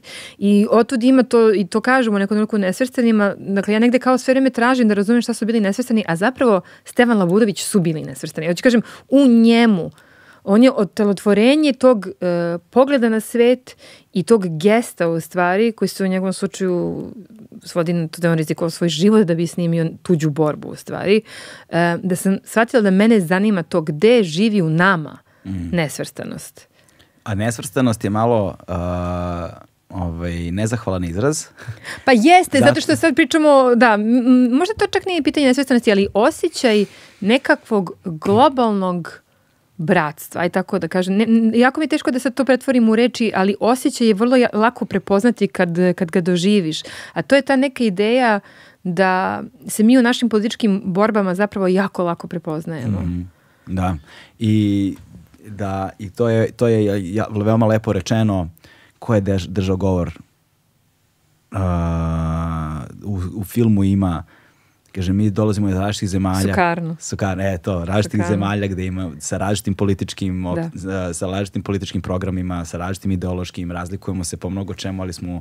U ovome isti. U ovome smo isti, da. znaš. U ovome smo isti i u mnogo čemu smo zapravo jednaki. Da. I da zapravo ta internacionalna ideja mm -hmm. ovaj, i ta ideja solidarnosti je nešto što čini mi se na neki način će ipak morati da preovlada ako mislimo da, da, da čovek postoji na planeti Zemlji u, narednih, u narednom veku. Bukvalno. Ovaj, sad, kako će to da se desi, ne znamo, ali ovo može bude trag. Pa ovo je se dragi i meni nekako bilo jako, jako važno da pravljanjem ovog filma sad nekoj novoj generaciji dam neko razumevanje. I moram ti kažem, jedna od najlepših stvari koje mi se desila ove nedelje, e, se desila projekcija noć u DKCO, u publici sede dva mlada crnca i sad kreće razgovor I ovaj jedan se javlja na srpskom. I kaže, ja ne znam da li vi znate, nas je sad jako mnogo u Srbiji, zato što ima ovaj program Svet u Srbiji, mi smo svi ovde stipendisti, da biste vi došli iz studentski grada da nam pustite ove filmove. I mi posle projekcije upadamo u razgovor, njegov ujak je bio na stipendiji 60-ih i tako dalje. I kad bi, meni bi bilo, na primjer, neobično važno da neki ljudi koji danas imaju 16, 17, 18 vide ove filmove i da kreću u stvari negde da mapiraju sve te veze koje su nekad postojale, koje su danas potpuno zaboravljene, zato što su one moguće. Da. A kao što ti kažeš, one su neophodne. Neophodne su, da. da. I, mo, i, i ovaj pokaz, zato je možda iz, bačano tako duboko u zaborav. Mm. Zato što je važno na je, jednoj strani je veoma važno da se, da se ne zna da su takve veze Zato što je opasno. Zapravo njima je to opasno. Opasno. To da. je, pa ta ideja je najopasnija. Yes. Ideja oko koje su se ljudi udružili da je zapravo strahovito opasna. Yes. Znači ti lepi kadrovi, to i u filmu kažeš, ono, ako šta bi za tebe bili nesvrstani, onda imamo te kadrove ovaj, prvog samita yes. kada ljudi mašu na ulicama svima i to je, znaš, to je, to je, to je veliko i meri to. Ono što me zanima jeste sada, um, Uh, da, li da, da li prvo da se bavimo publikom ili arhivom? ajde, ajde arhivom pa ćemo publiku za kraj. Aha. Uh, Uh, ono što se nazire negde zapravo u filmu jeste kada ti sediš, sad sam opet zaboravio ime, uh, uh, u, u arhivu sedi žena koja... Jovana Kesić. Da, Jovana da. Kesić, koja, da. Ka, koja, ka, koja kaže imamo sve ove kutije koje još niko nije pogledao. Da. Znaš, koliko toga ima i koliko, kako izgleda, uh, jer uh, uz, u delatnosti koju ti radiš i ljudi koji se bave nekim drugim delatnostima i kad ja sam razmišljam našo kao davljeno prvi koraka u, u eventualnom tom smeru, ono što mene zastrašujuće ovak zaustavi i sprečava da napravim taj korak je ta planina ono sirovog nesortiranog materijala s kojim ne znam šta ću. Ja celog života govorim najgori proces ono stvaranja dokumentarnog filma je prva ruka montaže. Jeste, ubedljivo. ubedljivo, nema ništa gore nema, toga. Nema, nema dileme. Pa, znaš šta, ja sam u to nekako upala uh, u ovom slučaju slučajno. Dakle, ja sam radila pet godina cinema komunista, to mi je bio prvi film, ja nisam imala pojma šta radim, nisam imala predstavu koliko će to vremena da uzme, koliko će to posla da bude I gledajući nazad nisam ni sigurna da bi imala ovo što ti spomenješ tu hrabrost da ga načnem da sam znala. Znači, kako ti kažem, planina se nije videla da, da, da. u izmaglici, pa sam ja krenula uz nju ne shvatajući koliko, to, koliko tu ima kilometara uspona. E sad, sa ovim sam ja negde naslučivala da, dobro, to sad ima ozbiljan istorijski posao, jer kao Stevan Labudović u Alžirskom ratu, dok ja naučim dovoljno o Alžirskom ratu i razumem Jugoslaviju, njenu spoljnu politiku, ima, ima tu da se radi. Sanjala nisam, u stvari, da kada budem sišla s njim u depo filmskih novosti i pogledala taj tu salu koji taj nazovi Alžirski fond ili fond Labudovića, da tu ima drugih prostorija koji ima drugih zemalja. E tu je se dešao neki nevrovatan kvrc u glavi jer me jedan put samo ophrvala veličina te priče. I moja da priznam da sam imala dosta dugo me muče onaj imposter sindrom u smislu da li sam ja rediteljski dorasla priči koja se nekako obrušila na, na mene. Zaista sam dugo o tome se pitala i uvek sam se, nekako sam se često pitala šta bi neko ko je bolji reditelj u stvari uradio svoj materijal. Ali stvarno se pitaš, je sad kao koja je to istorijska odgovornost u stvari uh, ući u to, ući u taj materijal. Složenost procesa leži u činjenici da niko tada nije baš razmišljao šta s tim posle. Dakle, Alžirski rat je u toku, te rolne stižu u Beograd, od njih se nešto montira i šalje u svet i onda sam našla, na primjer, pošto sam spomenula tih 10.000 dokumenta, u nekom od tih arhiva sam našla prepisku koja počinje u smislu, ok, a šta ćemo radimo sa ovim materijalom i Alžirci, pošto su sred rata, kažu arhivirajte. Niko nije predvideo prostor za arhiviranje. Znači, kažem, to su neke potpuno banalne stvari o kojima niko ne razmišlja. Kada se javio Mali 61. i rekao, a biste mogli iza nas, važi, ja sam našla ugovor koji je sklopljen između filmskih novosti i, i, i Malija, to je ugovor na dve strane u kome nigde nije anticipirano, ok, mi ćemo snimamo kod vas, razvijat ćemo kod nas, onda ćemo vraćati gotove filmove kod vas. Šta sa siraminom? Ko će to čuva? To ko, mislim, to bukvalno smislu košta, pošto to mora bude posebna, posebna vlaga, posebna temperatura. Te rolne mori se premotavaju svako malo da se ne bi polepila, to mora se braniti tog nekog sindoma sirćeta, znači ta traka mora se održava. Ko će to da radi? I sad, filmske novosti to rade, evo već 60 godina. Međutim, obzirom da je tako arhivirano, bez ikakvog jasnog dogovora, kome to pripada, na koji način će se tome pristupati, to stoji.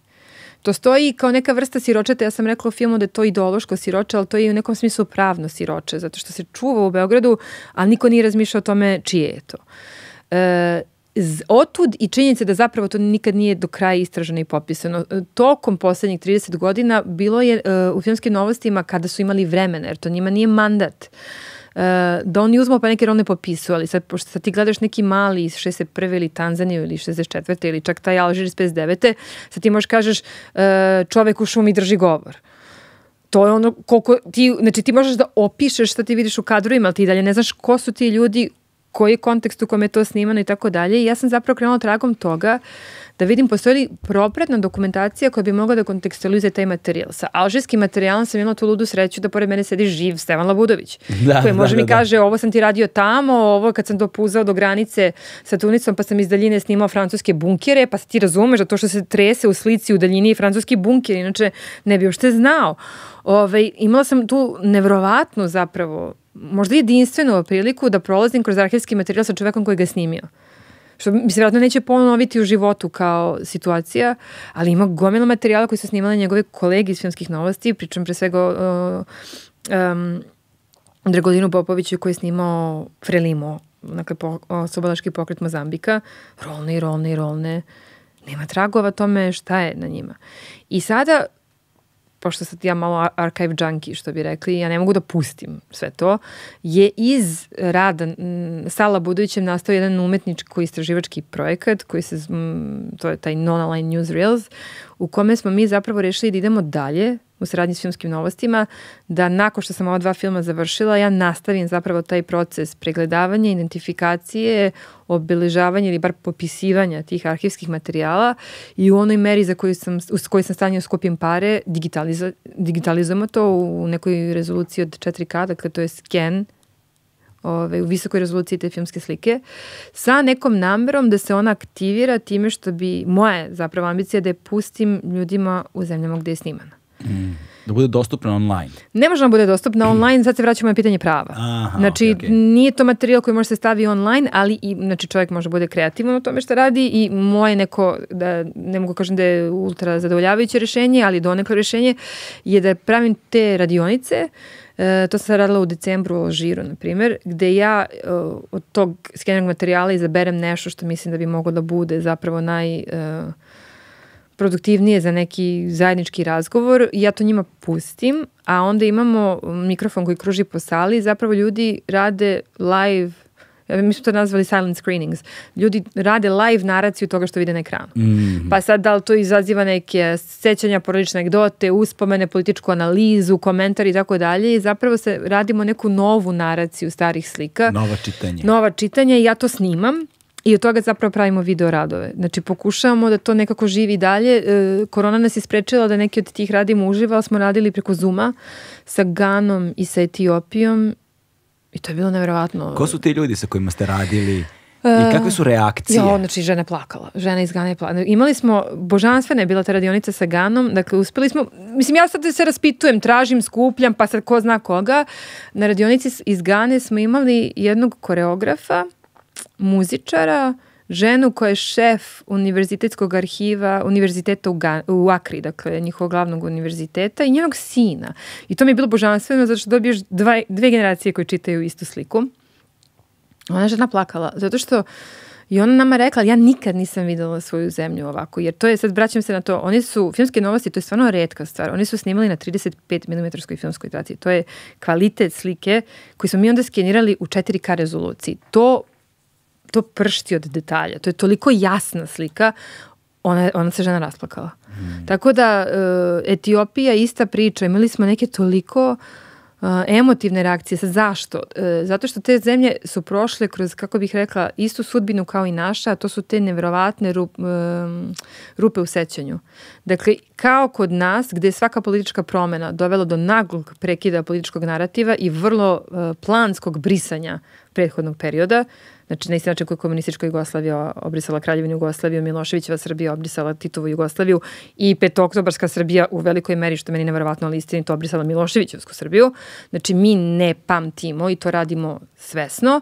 Oni su imali potpuno iste političke prevrate, praćene brisanjem i, i imaju na isti način tu javnu društvenu amneziju od koje mi patimo, koja mislim, zapravo uzok gomile naših problema.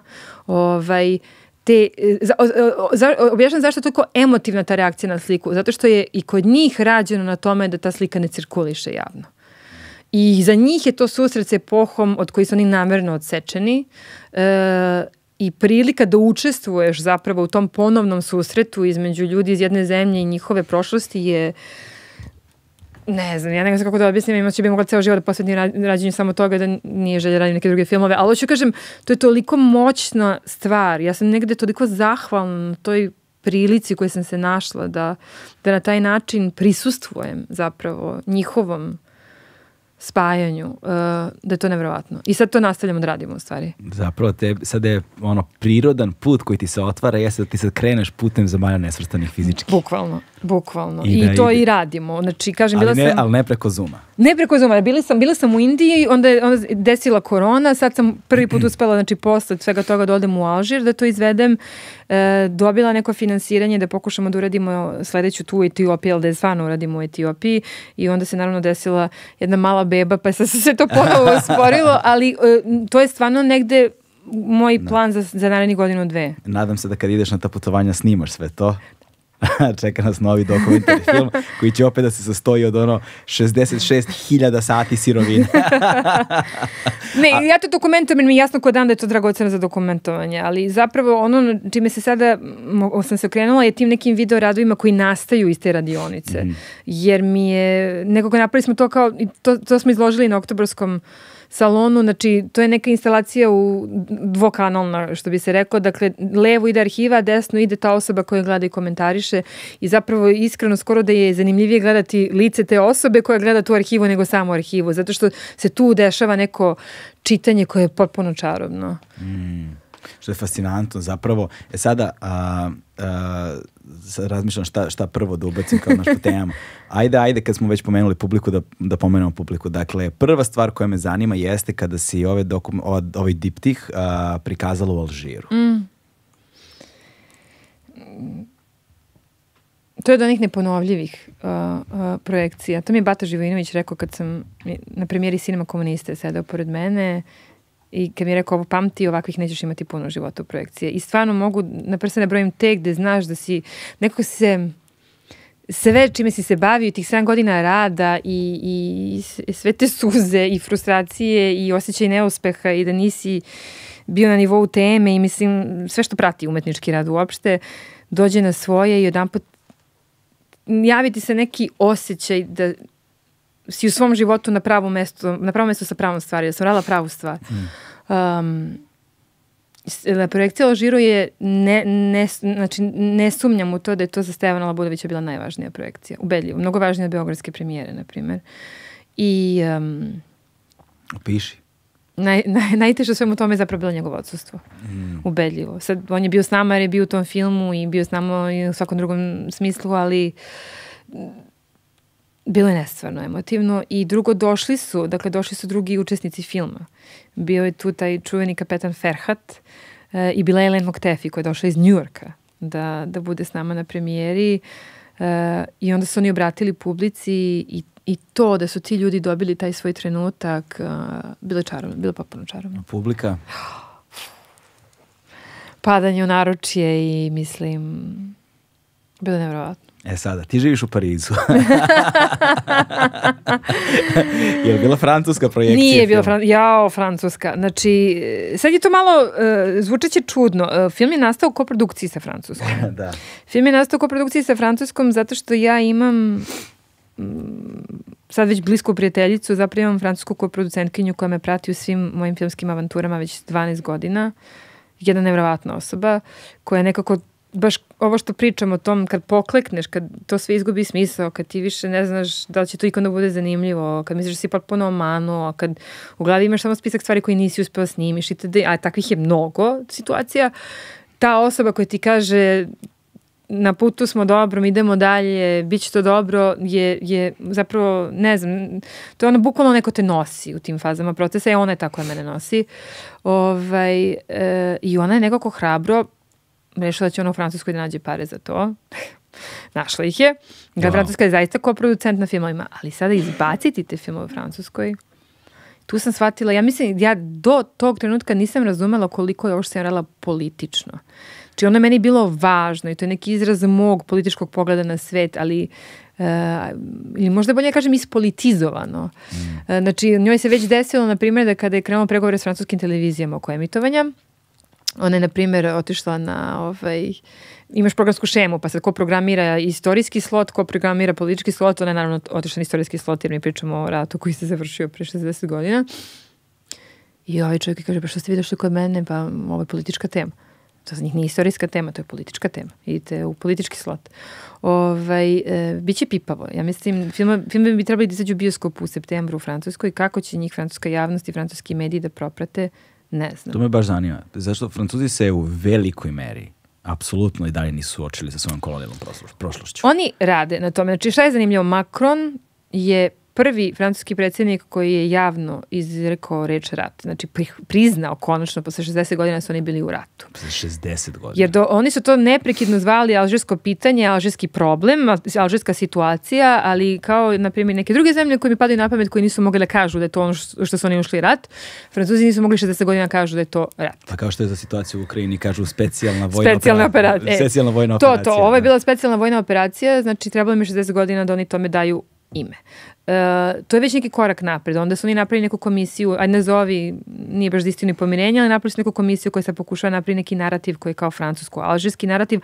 ali ja tek, zanimljivo sam ja otišla u Francusku kao stipendista, Kad sam počela se bavim alžirskim pitanjem, sam shvatila da ja zapravo imam priliku da nešto o francuskoj psihi razumem, što bi mi potpuno promaklo da nisam u Francusku ušla kroz alžirsko pitanje. Mm. Dakle, zato što Francuska, gledano iz neke druge perspektive, iz perspektive iz koje su mene roditelji vaspitavali, to je sad zemlja demokrati, francuska revolucija, to su te tekovine koje su inspirisale celu Evropu, inspirisale i nas kao narod, znači negde, sad pričamo, vraćamo se neki 18. 19. vek, ovaj, ja, za mene to bila Francuska. Mm -hmm. Za mene nije. Francuska Voltera, za tebe nije, ali francuska Voltera, francuska da, da, da. Viktora Igoa, francuska, a, mislim, Emila Zole, to je, to je bila ta francuska, neke ozbiljne intelektualne tradicije, e, e, epohe prosvetljenja i tako dalje. Ja, ja sam, to je bila moja ideja francuske. I onda kreneš da baviš alžirskim ratom i kažeš, i sad prosvatiš ja mislim, ja dok nisam krenula čitam Franca Fanona, ja mislim da meni mnogo toga Evropi nije bilo jasno. Ja sam mm. nekako uh,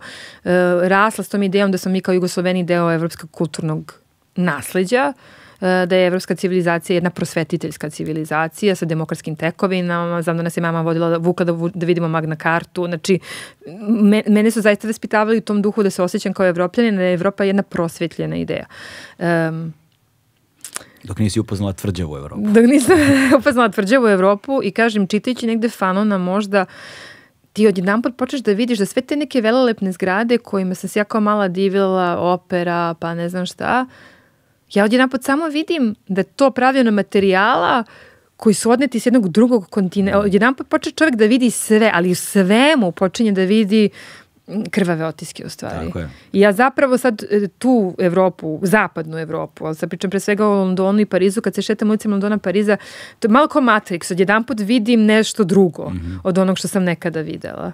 I zapravo ima to dva efekta. Ja se osjećam mnogo manje manjom nego što sam nekada mislila u stvari. A oni su mi mnogo manje ve veliki nego što su mi nekad delovali. Nekada da. ne znam kako da objasnim, ali nekako su se stvari iznivelisale. Da. Naj, naj, najopasniji prostor tu je prostor emocionalnog pomirenja sa celokupnom situacijom. Mm. Znaš, mm. da negde ne dozvoliš sebi s jedne strane, i to je balans, znaš, i to je jedan balans koji se veoma teško postiže. Znaš, ogroman trud je potreban. Ove, ovaj, s jedne strane da ne uniziš vrednosti koje su važne mm. i bez kojih mnogo što šta ne bi bilo danas, kako jeste, ali s druge strane da im ne daš previše na značaju sa punom svešću o tome, naš, na kao i način su verovatno nastajale mnogi od njih. Nisi mogao bolje to da opišeš. Stvarno nisi mogao bolje da opišeš. Meni je to otvaranje očiju trajalo bezmalo deset godina. Čak sam jednom pitala mamu, čekaj bre, vi ste nama Šta ste vi nama pričali? gde, gde si ti tu? Gde, gde su tu kolonije u celoj tvojoj priči o velikoj Evropi? Um, I sad zanimljivo je, zato što i meni mama rekla, na primjer, znaš, i za mene je to spoznaja koja je dolazila kasnije. Mm -hmm. Meni to bilo, na primjer, jako zanimljivo, ali, na primjer, eto, ona je meni pričala, ona je bila među studentima koji su u Beogradu 61. upali u, u ambasadu Belgije posle ubisa Patrice Lumumbe. Znači, njena generacija jeste bila osvešćena generacija, ali njoj, njoj to nije dovelo u pitanje zapravo veličinu, šta, šta je ta Evropa koju mi kao, koju mi kao težimo, jel, pridruživanju i tako dalje, ali jako si lepo zapravo uh, sumirao tu, taj neki pokušaj da se te vrednosti dalje cene, da ali da se zapravo njihova hipokrizija negde čita, ali da zapravo... Najveći problem sa time je što mora da bude individualno iskustvo za mm. sada, znaš. Zato što da je tvoja majka prošla kroz iskustvo sa Alžirom, kao što si ga ti prošla, znaš, i da si na terenu upoznala te ljude i videla njihove emotivne utiske, znaš, koje nose sa ovom celoga života. života da. Znaš, i onda se oni nužno preliju na tebe i onda kada se vratiš nazad ti si zapravo promenjena osoba. Apsolutno. E sad ja sam bila s mamom u Alžiru, da stvar bude bizarna. Bili smo u Alžiru zato što su pustili drugu, na isti taj festival i pustili drugu stranu svega i onda je mama otišla u Alžir sa mnom, tačno pred koronu, decembar 2019. I mislim da je to njoj isto jako mnogo značilo. Znači ona govorila francuski, tako da je pričala sa svima njima te večere, opet festivalski, gde se ti upoznaš te alžirski intelektualci i ti razgovori. Znam da je njoj to bilo nevjerovatno važan doživljaj. Mm, čekaj, sad jedna stvar. Koliko jezika ti govoriš? Pa to je to, mislim, engleski, francuski i pošto sam iz, posle tih godinu dana u, u, u Meksiku, španski zarađali, ali tu je negde. Ok, to je da, to. to je, to je, znači, francuski ti je mnogo značio za stvaranje ovog filma. ovog filma, znači ovaj film ne bi bio moguć da nisam govorila francuski, zato što zapravo sve što sam ja mogla da radim u Alžiru bilo isključivo na francuskom. Da, da, to je... Ah, neverovatno je. Sad nekako već ne, ne, dobar deo razgovora nas tema navodi na tvoju majku, što nas navodi na film Druga strana svega koji nekako, nažalost, ovaj, s obzirom da tvoja majka više nije ovaj, među nama, se u novom svetlu malo čita. Apsolutno. Znaš, u novom svetlu i kad smo pre neko veče pričali, pa sam ponovo pogledao, jer sam ja zapravo gledao drugu stranu svega, jer ona jedno vreme bila dostupna na HBO, na HBO Go, tad, mm -hmm. koji više ne postoji sad sve HBO Max. Da. Ja, pitanje je da li, da, da, pre nego što nastavimo sa, sa, sa tom temom, da li negde ima da se pogleda taj film sada? Druga strana svega, kako da. ja sam to i dalje na HBO Max. Aha, i dalje mm -hmm. na HBO Max. Aha, mhm. okej, okay, super, nisam, nisam, nisam, nisam, nisam video. Koliko ja znam, priznam, ja nemam HBO, tako da, ali Aha. prepostavljam da je tamo. Ovaj, pošto gomila stvari koja je bila na HBO Go više nema na Maxu. Da, oni skroni da skidaju, ali koliko ja znam, film je ostao. Ok, super, tako preporučujemo ljudima da ga pogledaju. Ovaj, a ova dva su na turneji. Na, da, ova dva je, dođite u bioskop, podržite DKC i uopšte ideju neke nezavisne bioskopske scene u Srbiji, dođite pogledajte u bioskopu za sada. Ok, dobro. A, e sada, Uh, jedna od zanimljivih stvari, ovako sad, pošto sam da bi se podsjetio, jel te film pogledao, nakon što sam pogledao ova dva i onda jedna od ključnih rečenica koja mi je upala ovaj, uh, tvoje majke kaže, kaže, zašto se više baviš prošlošću? Treba da se baviš, baviš budućnošću, znaš. A ti još se vratila još jedno pola veka unazad. Ali tu jeste negde naša budućnost, stvarno da. jeste. Ja uopšte ne mislim, ja nemam osjećaj da ja gledam unazad kad ja radim ove filmove. Ja čak ne mislim da su ovo istorijski filmovi. Ja njih zaista Politički, vidim... što bi rekli francuzi. Bukvalno, politički, ali u tom nekom smislu da tu leže neke ideje koje, od kojih smo mi namerno odsečeni, a koje su nam neophodne za budućnost. Ja ga stvarno vidim kao film o budućnosti. Poten, ajde kažemo, o nekoj političkoj imaginaciji, o, o, o politički mogućem.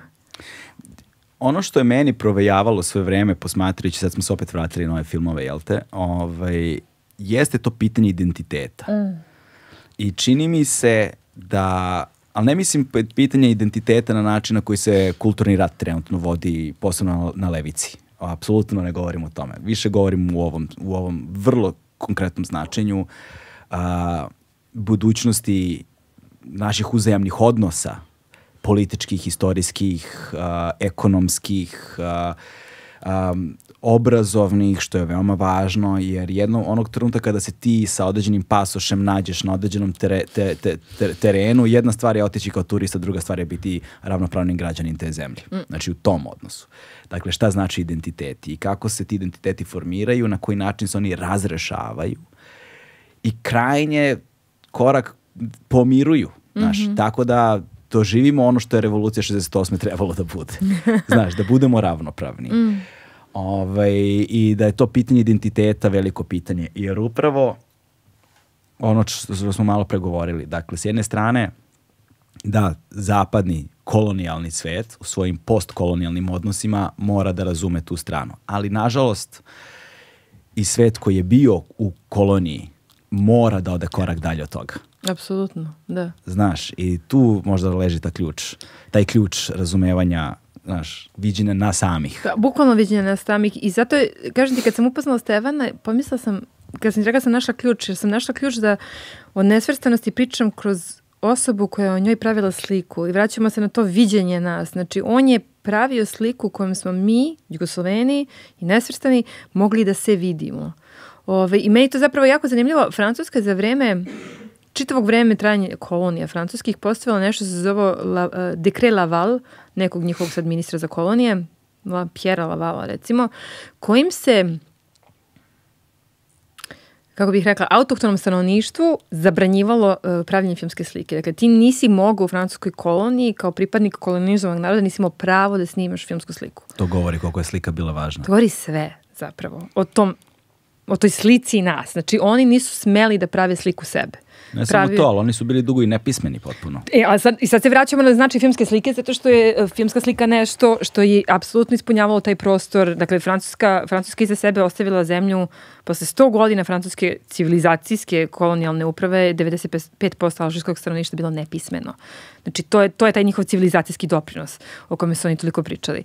Ovaj, filmska slika je zato bila važnije u tom trenutku tim novim vlastima od bilo čega drugog zato što je mogla komunicirati sa nepismenim stanovništvom. Nisi način koji je radio bio ne, nevrovatno važan. Zato što ljudi slušali radio. Mm, ima Ove, to na ovaj, kraju filma upoznemo. Da, upoznemo čoveka koji je radio tam, taj piratski alžirski radio koji je onda bio i prvi direktor alžirskog radija posle nezavisnosti. Dakle, um, jako je to sve zanimljivo. Na koji su oni način znali da time mogu zapravo da, da e, kako bih rekla, građanima novo nastalih zemalja daju sliku sebe. E, I sad se vraćamo na pitanje identiteta i slike. I možda negde i suštinski odgovor zašto se ja bavim toliko arhivom, zato što ja, ja negde u, u arhivi filmskih novosti nalazim sliku sebe kao Jugoslovena, jer sam tako vaspitavana i tako se i dan danas osjećam i deklarišem. Što bi Lepa Brena rekla. Ali bukvalno. Da. Znači, e, ima ta božanstvena scena gde u nesvrstanima kada stižem kod tog kapetana Ferhata u kuću u, u Alžiru i kada meni kaže čas mi da mogu ponovo da ugostim mm. Jugoslovenku. I ti shvatiš da, ne, te, i da ima mesta na svetu gde mene neko da, i dalje tako vidi, jer ja sebe tako vidim. Ovaj, e, I sad se vraćamo na to nasilje, kad tebe neko odseče zapravo od, od mogućnosti da vidiš tu sliku sebe u kojoj se ti prepoznaješ, tu se dešavaju, ja mislim, ti neki lomovi u kojima ti pričaš kako ti posle zapravo sa godinama, kako rasteš, pokušaš sam sebi da sklopiš priču o svom identitetu i ja mislim da, da tu negde leži uzrok činjenici da ja već 15 godina kopam po, po podrumu filmskih novosti. Ma, pričajući priču o drugima, zapravo sklapaš priču o sebi. Se, zapravo nalazim sliku sebe, to je, to je Mm. bukvalno to. I to je celoživotni proces. Jao, Pa da, valjda neće ceo život ostati u njihovom podrumu, ali da, to je, pa pazi, dovoljno godina prošlo, znaš. Jeste, pazi, stvarno Sumnje su jeste. osnovane. ali je to zaista to i meni je uvek dragoceno, znači dragoceni su mi ove projekcije u Beogradu, ali su mi nevjerovatno dragocene projekcije po bivšoj Jugoslaviji. To sam imala sa sinom komunistom, imala sam s drugom stranom svega i nadam se da ću imati i sa ovim dobro, evo sledeće nedelje idemo za Zagreb. Ovaj, e, ti razgovori s publikom u stvari, kada ti shvatiš da ta neka uh, to neko kulturno nasleđe postoji, ono je apsolutno živo i aktivno. Ove, Tim Jude je to pisao kao jugosferu. Znači, nastavak postojanja nekakvog jugoslovenskog kulturnog prostora, iako Jugoslavije više nema, u toj jugosferi se apsolutno situira ceo moj filmski rad. Da, jer to su te tačke identiteta, kulturne tačke identiteta koje koliko god da poništavamo ne možemo da izbrišemo. Mm. Govorimo isti jezik, razumemo se. Imamo istu prošlost, razumemo se. Znači, to se vidi tačno a, kad se ode negde preko, na koji način oni traže svoje identitete. Mm. A, jer za vreme stare, jel te, za vreme Jugoslavije, to su bili jugoslovenski klubovi, Jugović ili kako god, znaš. Onda kada su izbili ratni sukobi na ovim prostorima, podelili su se, bili su hrvatski klubovi, bosanski klubovi, srpski klubovi i tako dalje. Znaš, a onda je prošlo vreme nakon rata, jel te, decenije i sada više nisu jugoslovenski, više nisu ni bosanski, hrvatski lovi, sad su samo naši. Naši, da. Znaš, sad kad se sretnemo, naši. Naši. Nemamo ime, Da. Ali imamo potrebu. Da. Znaš. Jako je zanimljivo se upotrebiti tu reč, jer vam moja malo prespomenuta francuska producentkinja meni rekla isto stvar da je jako mnogo razumela o nama kad je razumela reč naši. Naši smo. Da, da. Ovaj, da je tu onda negde počela kapira kako su te stvari za nas sve i dalje žive i aktivne, iako nemaju ime zapravo. Pa da, znaš, a imenovanje stvari je veoma važno. Jest, Da bi jest. se materializ, stvorila relacija i taj odnos prema Mm. tome, znaš, to je u psihologiji znaju, znaju veoma dobro. E sada, druga strana svega, ovaj, a, a, šta si radila sa Srebrninom? Eno je, i sad je i sad je debata između, nije čak ni debata, već, već je izvesno će moja sestra biti ta koja će ovaj, da, da riba pred slavu. Znaš, kako je divno, koliko je, koli- koliko je Srbijenki ta Srebrnina bila važna, ovaj, postaje trenut... Naj, mučna i važna. mučna i važna, ali obsesivno. Znaš, ne, barem je tucica koji sam ja stekao iz filma, jer sad kad sam, sad kad sam ga gledao ponovo, znaš, kad gledaš ponovo, onda dobi- vidiš neke druge stvari i ovaj, kada prvi put ulazite u stan, znaš, šta ona prvo vidi? Šta još mora se čisti? Šta što- da, i luster. Ne, to je bilo, to je stvarno, znači svake godine pred slavu nam je slava sta, e, Sveti Mrate, Sve- Stefan Dečanski, znači 24. novembar i onda recimo negde 10. novembra kreće, jao, vitrina.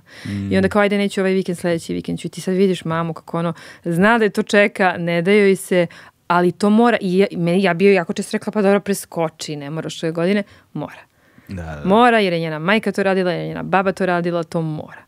Ovaj, i, i, I tu je sad ta, što sam starija, to više cenim, tu tradiciju. Znači, to mora, zato što je to nasliđeno i, i negde tu se održava. Ja sam čak napravila sad kratki film o tom čišćenju srebra. Jel da? Da, koji ima premijeru prošle godine. Ovaj, za jedan serijal za koji smo kontaktirali da bi radila kratki film, bavio se elementima periodnog sistema. I onda svako, svaki reditelj bira neki element iz periodnog sistema, njemu pravi film i ja sam rekla srebro. I zapravo sam napravila kratki film o tome gde snimam mamu kako čisti srebro, ali zapravo pričamo o tome ka, koliko je njoj kada sedi tu i radi to, obzirom da sedi na istom mestu gde sedla njena majka i na istom mestu gde sedla njena baba i iste te stvari ovaj, drlja, da je ona tada ima osjećaj da je ona u kontaktu sa svima njima na koji način koji nema kad na primjer ode na groblje ili šta ja znam. Dakle, ta ideja prisustva porodičnih duhova, ja stvarno mislim da je naš tam pun porodičnih duhova i mnogo volim zapravo svo njihovo, volim što oni, ži, oni, oni žive svi dalje u tom prostoru. E, evo sad kad ni mame više nema, zapravo negde se lomim da- da ja sednem na tu stolicu i krenem da čistim jer znam da, će, da ću ih sve prizvati ako to budem uradila. Da, vidiš, to je, taj, ti ritu, opet se vraćamo na te rituale, Rituale, znaš, da, su, da su vrednost rituala zapravo u nama kao ljudima i u nama kao društvima ovaj, koliko, koliko ono veliku težinu nose. Znaš, ono što je sam primetio takođe jeste posebno u filmu Druga strana svega a, tebe kao autorke. Ovaj, I ono što se vidi isto uh, negde se nazire, ako se čovjek potrudi može da se vidi, tebe kao im, implicitne autorke ovaj, u, u, ovom diptihu a, jeste tvoje lično ne samo transformacija, mm. nego i na neki način, a to je ono sa čime ja i celog života imam problem, od, o, otrgavanje nečega od sebe, znaš, kao komadanje sebe i davanje toga, znaš, u, u to autorsko delo koje opet ide u neki javni prostor. Uh, to je najteže. Naj, u meni bilo najteže. Znači, Sinema komunista, ako pogledaš, to je film u kojem se ja potpuno sakrila se, sebe. Da, da. Jer sam ja mislila da se tako radi dokumentarci i na kraju krajeva ne volim te ne volim taj, postoji taj jedan mod dokumentarnih filmova, ne znam, ako recimo neki Amerikanac pravi u Afganistanu, onda počinje s njim koji kao, ja sam seo u taksi u Brooklynu i krenuo na aerodrom jer idem u Afganistan. I sad se znaš, šta ti upisuješ u tu priču? Znači, generalno sam imala neki otpor sprem tih filmova gde se tako autor upisuje u neku avanturu jer nije nužan da bi se ta priča ispričala. I ja sam tako počela da radim i drugu stranu svega. Mm -hmm. Do te mere da sam u nekim prvim, prvim predstavljanjima projekta kad sam tražila financije pa ideš na te pitching forume gde predstavljaš projekat, ja nigde nisam govorila to moj porodični stan i moja majka. Znači, ja sam pričala o tome u trećem licu, neka porodica u Beogradu živi u nekom podljenom stanu, ovo je film o tome. Toliko sam bila, uh, kako bih rekla, u zabludi, da ja mogu da, se di, da napravim to tako na toj distanci koju sam ja smatala da je korektna autorska mm -hmm. distanca ti ne možeš, mislim, ti zapravo ne možeš da stvoriš umetničko delo, da u njega ne ugradiš deo sebe, bukvalno. E, ali, svesno ili nesvesno. Svesno ili nesvesno. Ali bolje svesno. ali ovde mi je trebalo, trebalo mi je vremena, ta montaža je trebala skoro godinu i po dana, trebalo mi je vremena da prihvatim da zapravo u tom filmu postoje dva lika od kojih sam ja jedan. I da ako ću nju da stavim tako na tapet da usto idem ja, da ne može, na, ne mogu samo da je bacim labovima.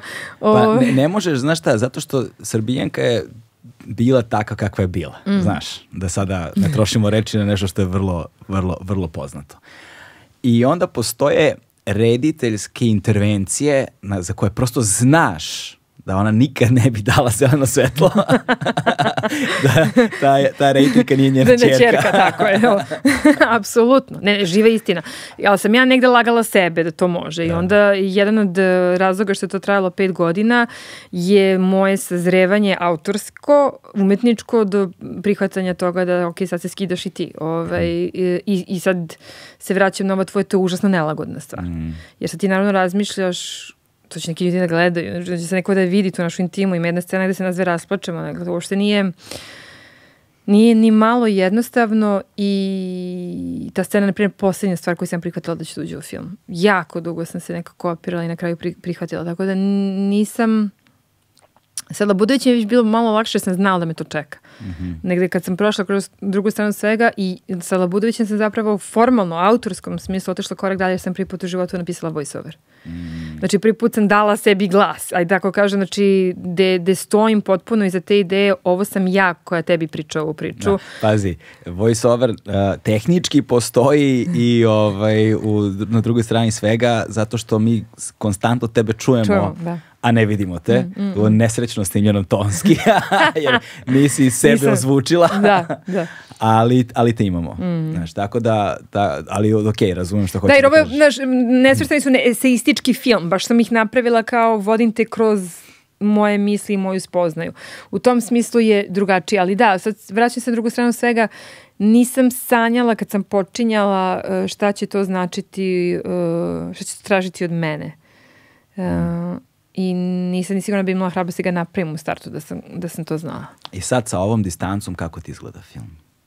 Ja, ja sam sad sa ovom distancom, zanimljivo je ne, u nekom od sad razgovora posle filma, kad je izašao mi je neka žena rekla, ja kako ste divan spomenik napravili vašoj majici, pa to je onako, ja sam pogledala kakav sam ja pravila spomenik svojoj majici. Sada, kad gledam unazad, kad mame više nema, ta, u stvari, to jeste negde spomenik njoj u smislu da se ja kao čerka zahvaljujem na, na činjenici da, da sam imala takvu ličnost da me vodi kroz život i um, i u stvari mi je nevjerovatno drago što film postoji. Mm.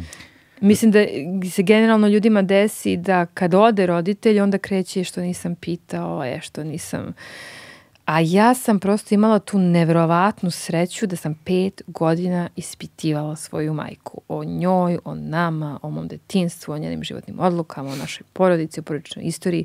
Tu sad ostali desetine sati snimljenog materijala i sad već imam članove porodice, a si, ali ima, možda imaš snimljeno sa Srbom kad ona priča, imam, a dobro je. Znači, da, da smo svi kao porodica srećni što to sve postoji. E, hoću kažem da desilo mi se, ja mislim, nevrovatno redka, jako srećna okolnost da je moja majka otišla, a da između nas dve nije ostalo ništa neizrečeno. Mm, I to je. mislim da je onako... To je, znaš, ja dolazim sa druge strane toga. tako da ti mogu reći da zaista jeste tako. Ali mm. o, ono što meni takođe bilo fascinantno, jer mi smo negde generacijski blizu, mm. jel te? Mm. Ovaj, I sve što se dešava u filmu i čemu se priča u filmu, naš, su iskustva koja su nam zajednička. Generacijski, jel te? I kroz zemlju koju smo živeli. Ali postoji ta razlika uh, koja je meni ostala onako jedan intiman detalj, znaš kao. Ja sam u javni prostor ušao kasnije u životu, što znači da imam ogroman komad svog prostora koji to nije bio, mm -hmm. znaš, javan. Ovaj, I gomil koji pokušavam da sačuvam i dalje, to je druga stvar. Ali, ovaj, ali na, u velikoj meri, znaš, znaš, moji roditelji su bili anonimni. Mm -hmm. Razumeš, tvoja majka nije. Nije. znaš, i, i sve vreme, razmišljaš, znaš, kad posmetraš tako kad smo generacijski blizu i kao, znaš, raz, razmišljam kako izgleda zapravo boravak, ono, naš, uz skute jedne takve osobe, kroz cijelo detinstvo gde stvari koje su tebi normalne, kasnije shvataš da, da zapravo nisu uopšte. I da je to nešto što ti kroz pitanja na neki način kao da dok, raz, dok koji postavljaš pitanja kao da govoriš sama sebi. Mm -hmm. To bi se i desilo, bukvalno. Znači, ja sam u startu mislila da ja pravim jedan film o našem stanu, jer on ima tu specifičnost da u dnevnoj sobi imamo vrata koji su zaključena 50 godina. I stvarno sam mislila, sad ta neka ideja, neke e, kako bih rekla, linije razgraničenja koje presjeca jednu dnevnu sobu je zapravo negde idealan teren da se napravi film o jednoj zemlji koji je dalje tako podeljena. Sve to bilo jako metaforički, lepo spakovano, nemaš ti sad od zatvornih vrata praviš film. I mislila sam, dobro, moja mama, pošto je rođena tu i odrasla tu, će da bude ta koja će nama da priča o priči stana. Nisam apsolutno nikad mislila da ću ja zaći s njom toliko u njem politički angažman. Međutim, ja sam taj film počela pravim kad sam imala recimo 33 i završila sam ga sa 30 sedam recimo, um, ja sam, to je neka užasno važna životna faza gde sam ja počela da shvatam da ono što sam ja stvarno uzimala kao zdravo za gotovo kao malo. Dobro, sad kao neke mame su pravile kolače, moja je držala govore i pritom se ja moj zamerala što nam ne pravi kolače, da se razumijem, bila sam grozna. Ove, kao dete, jer kao kod Jelene kući njena mama je tu ima kolača, kod nas kući nikad nema kolača, onda mama sirota još i trčala kući da nam pravi kolače, ali nije bitno. Pojenta je da ovaj, je meni to sve bilo tako. Znači, ja izađem, ja pobegnem sa časa da bi se pridružila studentima na protestu i naleti na mamu na čelu kolone. jer kao mama je krenula sa studentima. Um, mene to sve beskreno zabavljalo, jer je to bila jedna, pogotovo ti protesti 92. koji su prvi na kojima sam ja učestvovala sa 13 godina, bili stvarno u smislu energije, kad su studenti išli na dedenje, to je ne, nešto najlepše čega se ja sećam. Meni to sve bilo prirodno. Ja nisam čak ni o tome razmišljala kao nečem posebno hrabrom što moja mama radi. Zaista nisam. E onda, znači već 98. sam ja na studijama, uh, Sestra takođe, tata u penziji, jer je tata bio dosta stariji od mame. I dešava se zakon u univerzitetu i sad ide ono čuveno potpisivanje zakona koji mu biti ti zapravo negde potpisuješ poslušnost Miloševićevom režimu jer oni u velikoj meri ukidaju autonomiju univerziteta. I mama dolazi kući i kaže ljudi, ja ovo ne mogu da potpišem. A pritom je ona u tom trenutku jedina koja zarađuje. Celo, znači izdržava četvročlanu porodicu. I mi nju pogledamo i kažemo, ne možeš. Ovaj, ona je nama mnogo godina kasnije rekla da, da mi nismo tako odreagovali. Znači da nama nije to bilo toliko očigledno koliko i njoj, nego da je neko od nas rekao, ali mama, od čega ćemo mi da, da živimo, da bi njoj to bilo mnogo teže da izvede, u stvari. Ali i nama se naravno desilo, zvali su nas u tom periodu i neki porodični prijatelji, dođite kod nas kao da razgovaramo i onda kažu vaša majka je luda, vi nećete mi čekati, vi morate me majice kažete se malo smiri, da se urazumi. I onda Nina i ja idemo kući i diskutujemo i, i zaključimo da mi ovo mami nećemo ni da prenesemo. Mm. Znači, sad kao da mi zaštitimo nju od toga. Ovaj, mnogo godina kasnije smo mi o svemu tome pričale i mi priznale mami da smo mi imale tu vrstu sufliranja od strane porodičnih prijatelja. Ona nama rekla da vi niste na taj način stali uz mene. Uh, zašto sve to govorim? Tu negde tek ja počinjem da razmišljam o činjenici da je moja majka donosila neke zapravo ne svakidašnje odluke, ajde da kažem hrabre, koje još nisu očigledne kao odluke. Mm. Nije se baš očigledno da ti staneš na binu ovaj, na trgu Republike i obratiš se onoj količini ljudi. Um, I zapravo ja mislim da je ceo moj proces rada na tom filmu, to što sad nju imam fotelji i mogu sve to da je pitam, I to se čak negde i vidi u filmu, ja sve vreme pokušavam da stignem do recepta, ajde da kažem, yeah. šta je to u njoj, odakle to ide, da ti, da ti imaš ubeđenje i hrabrost da to radiš. I onda se dešava taj obrt na kraju druge strane svega, gde, mislim da je bio Beograd na vodi, jest. Zvali su nju da govori, zvali su mene da govori. Mama rekla da, ja sam rekla ne. Da, da, da. ne, ne, ne, ne mogu, ne, ne, mislim, i ide ta scena gde ona je bila jako razočarana sa mnom, ove, ovaj, gde zapravo ona okreće dinamiku filma, jer sve do tada ja nju nešto kao objasni mi, objasni mi, ovaj, okreće se nekako dinamika filma i ona mene stavlja u stvari pred taj ispitivački pogled i kaže, ok, sad neko iz tvoje generacije će morati. Da, da. Uh, jako mnogo ljudi mi je reklo da taj, pošto ona stvarno gleda negde pravo u mene, pravo u kameru sa tim pogledom koji kao... Kako samo ona... Koji izaziva, kao ajde izađi sad ovaj, na crtu. Um, jako mnogo ljudi mi je reklo da su oni imali osjećaj da nagleda u njih. Mm. Znači da, da to pitanje postavlja ne samo meni, nego zapravo postavlja njim. I ima ogromnu težinu. Čini mi se da je to prvi put pokrenuto u filmu uh, kada su je zvali da priča o 5. oktobru. Mm -hmm. Je li tako? Znači, mm -hmm. kada je rekla šta ima da pričam više o tome. Znaš? Da. I onda se kasnije iz toga nadovezuje niz na ja sam suviše stara, da. nisam da. ja ta koja treba da nastavi borbu. A gde se između negde pojavljuje onaj moment kad kaže i to nešto što na, ima nas nekoliko koji ponavljamo to kao matricu ovde non stop, ovaj, ja sam, ja sam od uvek verovala da ovde treba da se ostane po svaku cenu. Cen, da. Znaš? Da. Ovaj, I da nekako ako je po svaku cenu, šta ta cena podrazumeva? Podrazumeva sledećeg pripadnika generacije koji će da nastavi tamo gde, si ti, gde je ona stala.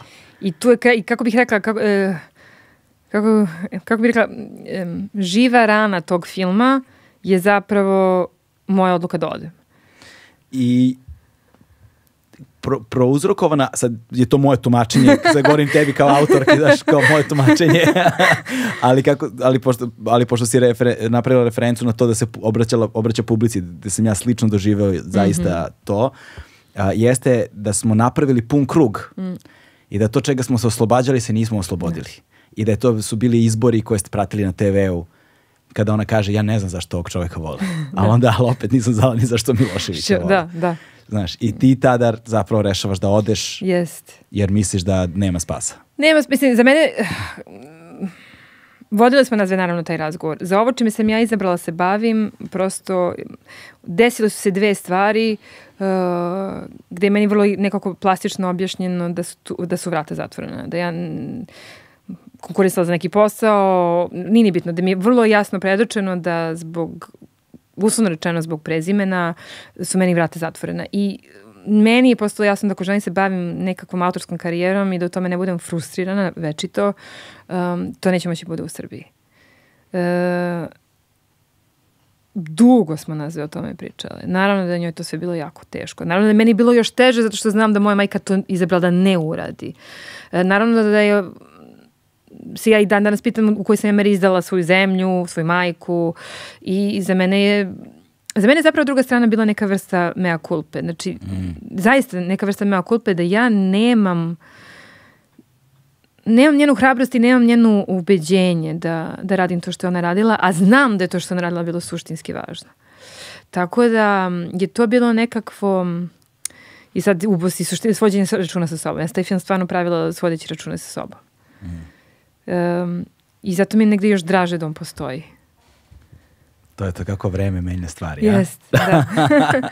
Jedna ista stvar kroz vreme kako počne da se, kako počne da se osvetljava na drugačiji način. Bukvalno. To je ono, to je ono što je fascinantno i mislim da, i mislim da, se, da, da na taj način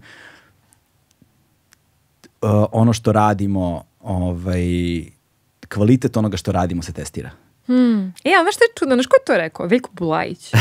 Znači, Cinema komunisto. Moj prvi film, intervjuišem sad razne neke jugoslovenske radnike i taj film se počinje jedna od prvih rečenica u filmu i uvodim sve likove Bata Živojinović, Veljko Bulajić i Veljko Bulajić kaže e, mera vrednosti jednog filma i njeg, istine koje on nosi koliko on drugo traje. I sad pazi, to ti govori čovjek koga doživljavaju kao dvorskog snimatelja najvećih jugoslovenskih propagandnih filmova, on ti priča o istini i trajanju. Koliko sam se ja puta u poslednjih deset godina vratila na tu njegovu misao i razumela konačno na što je on mislio kad je to rekao, to je neverovatno. Da. I zato što se sad, znaš, vidi se istina u tom filmu. Mm.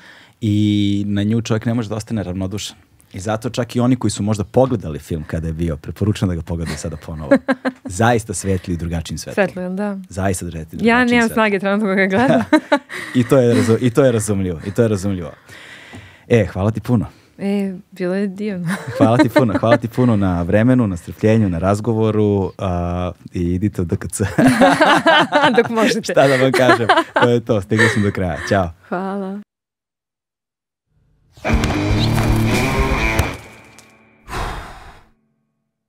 Hmm.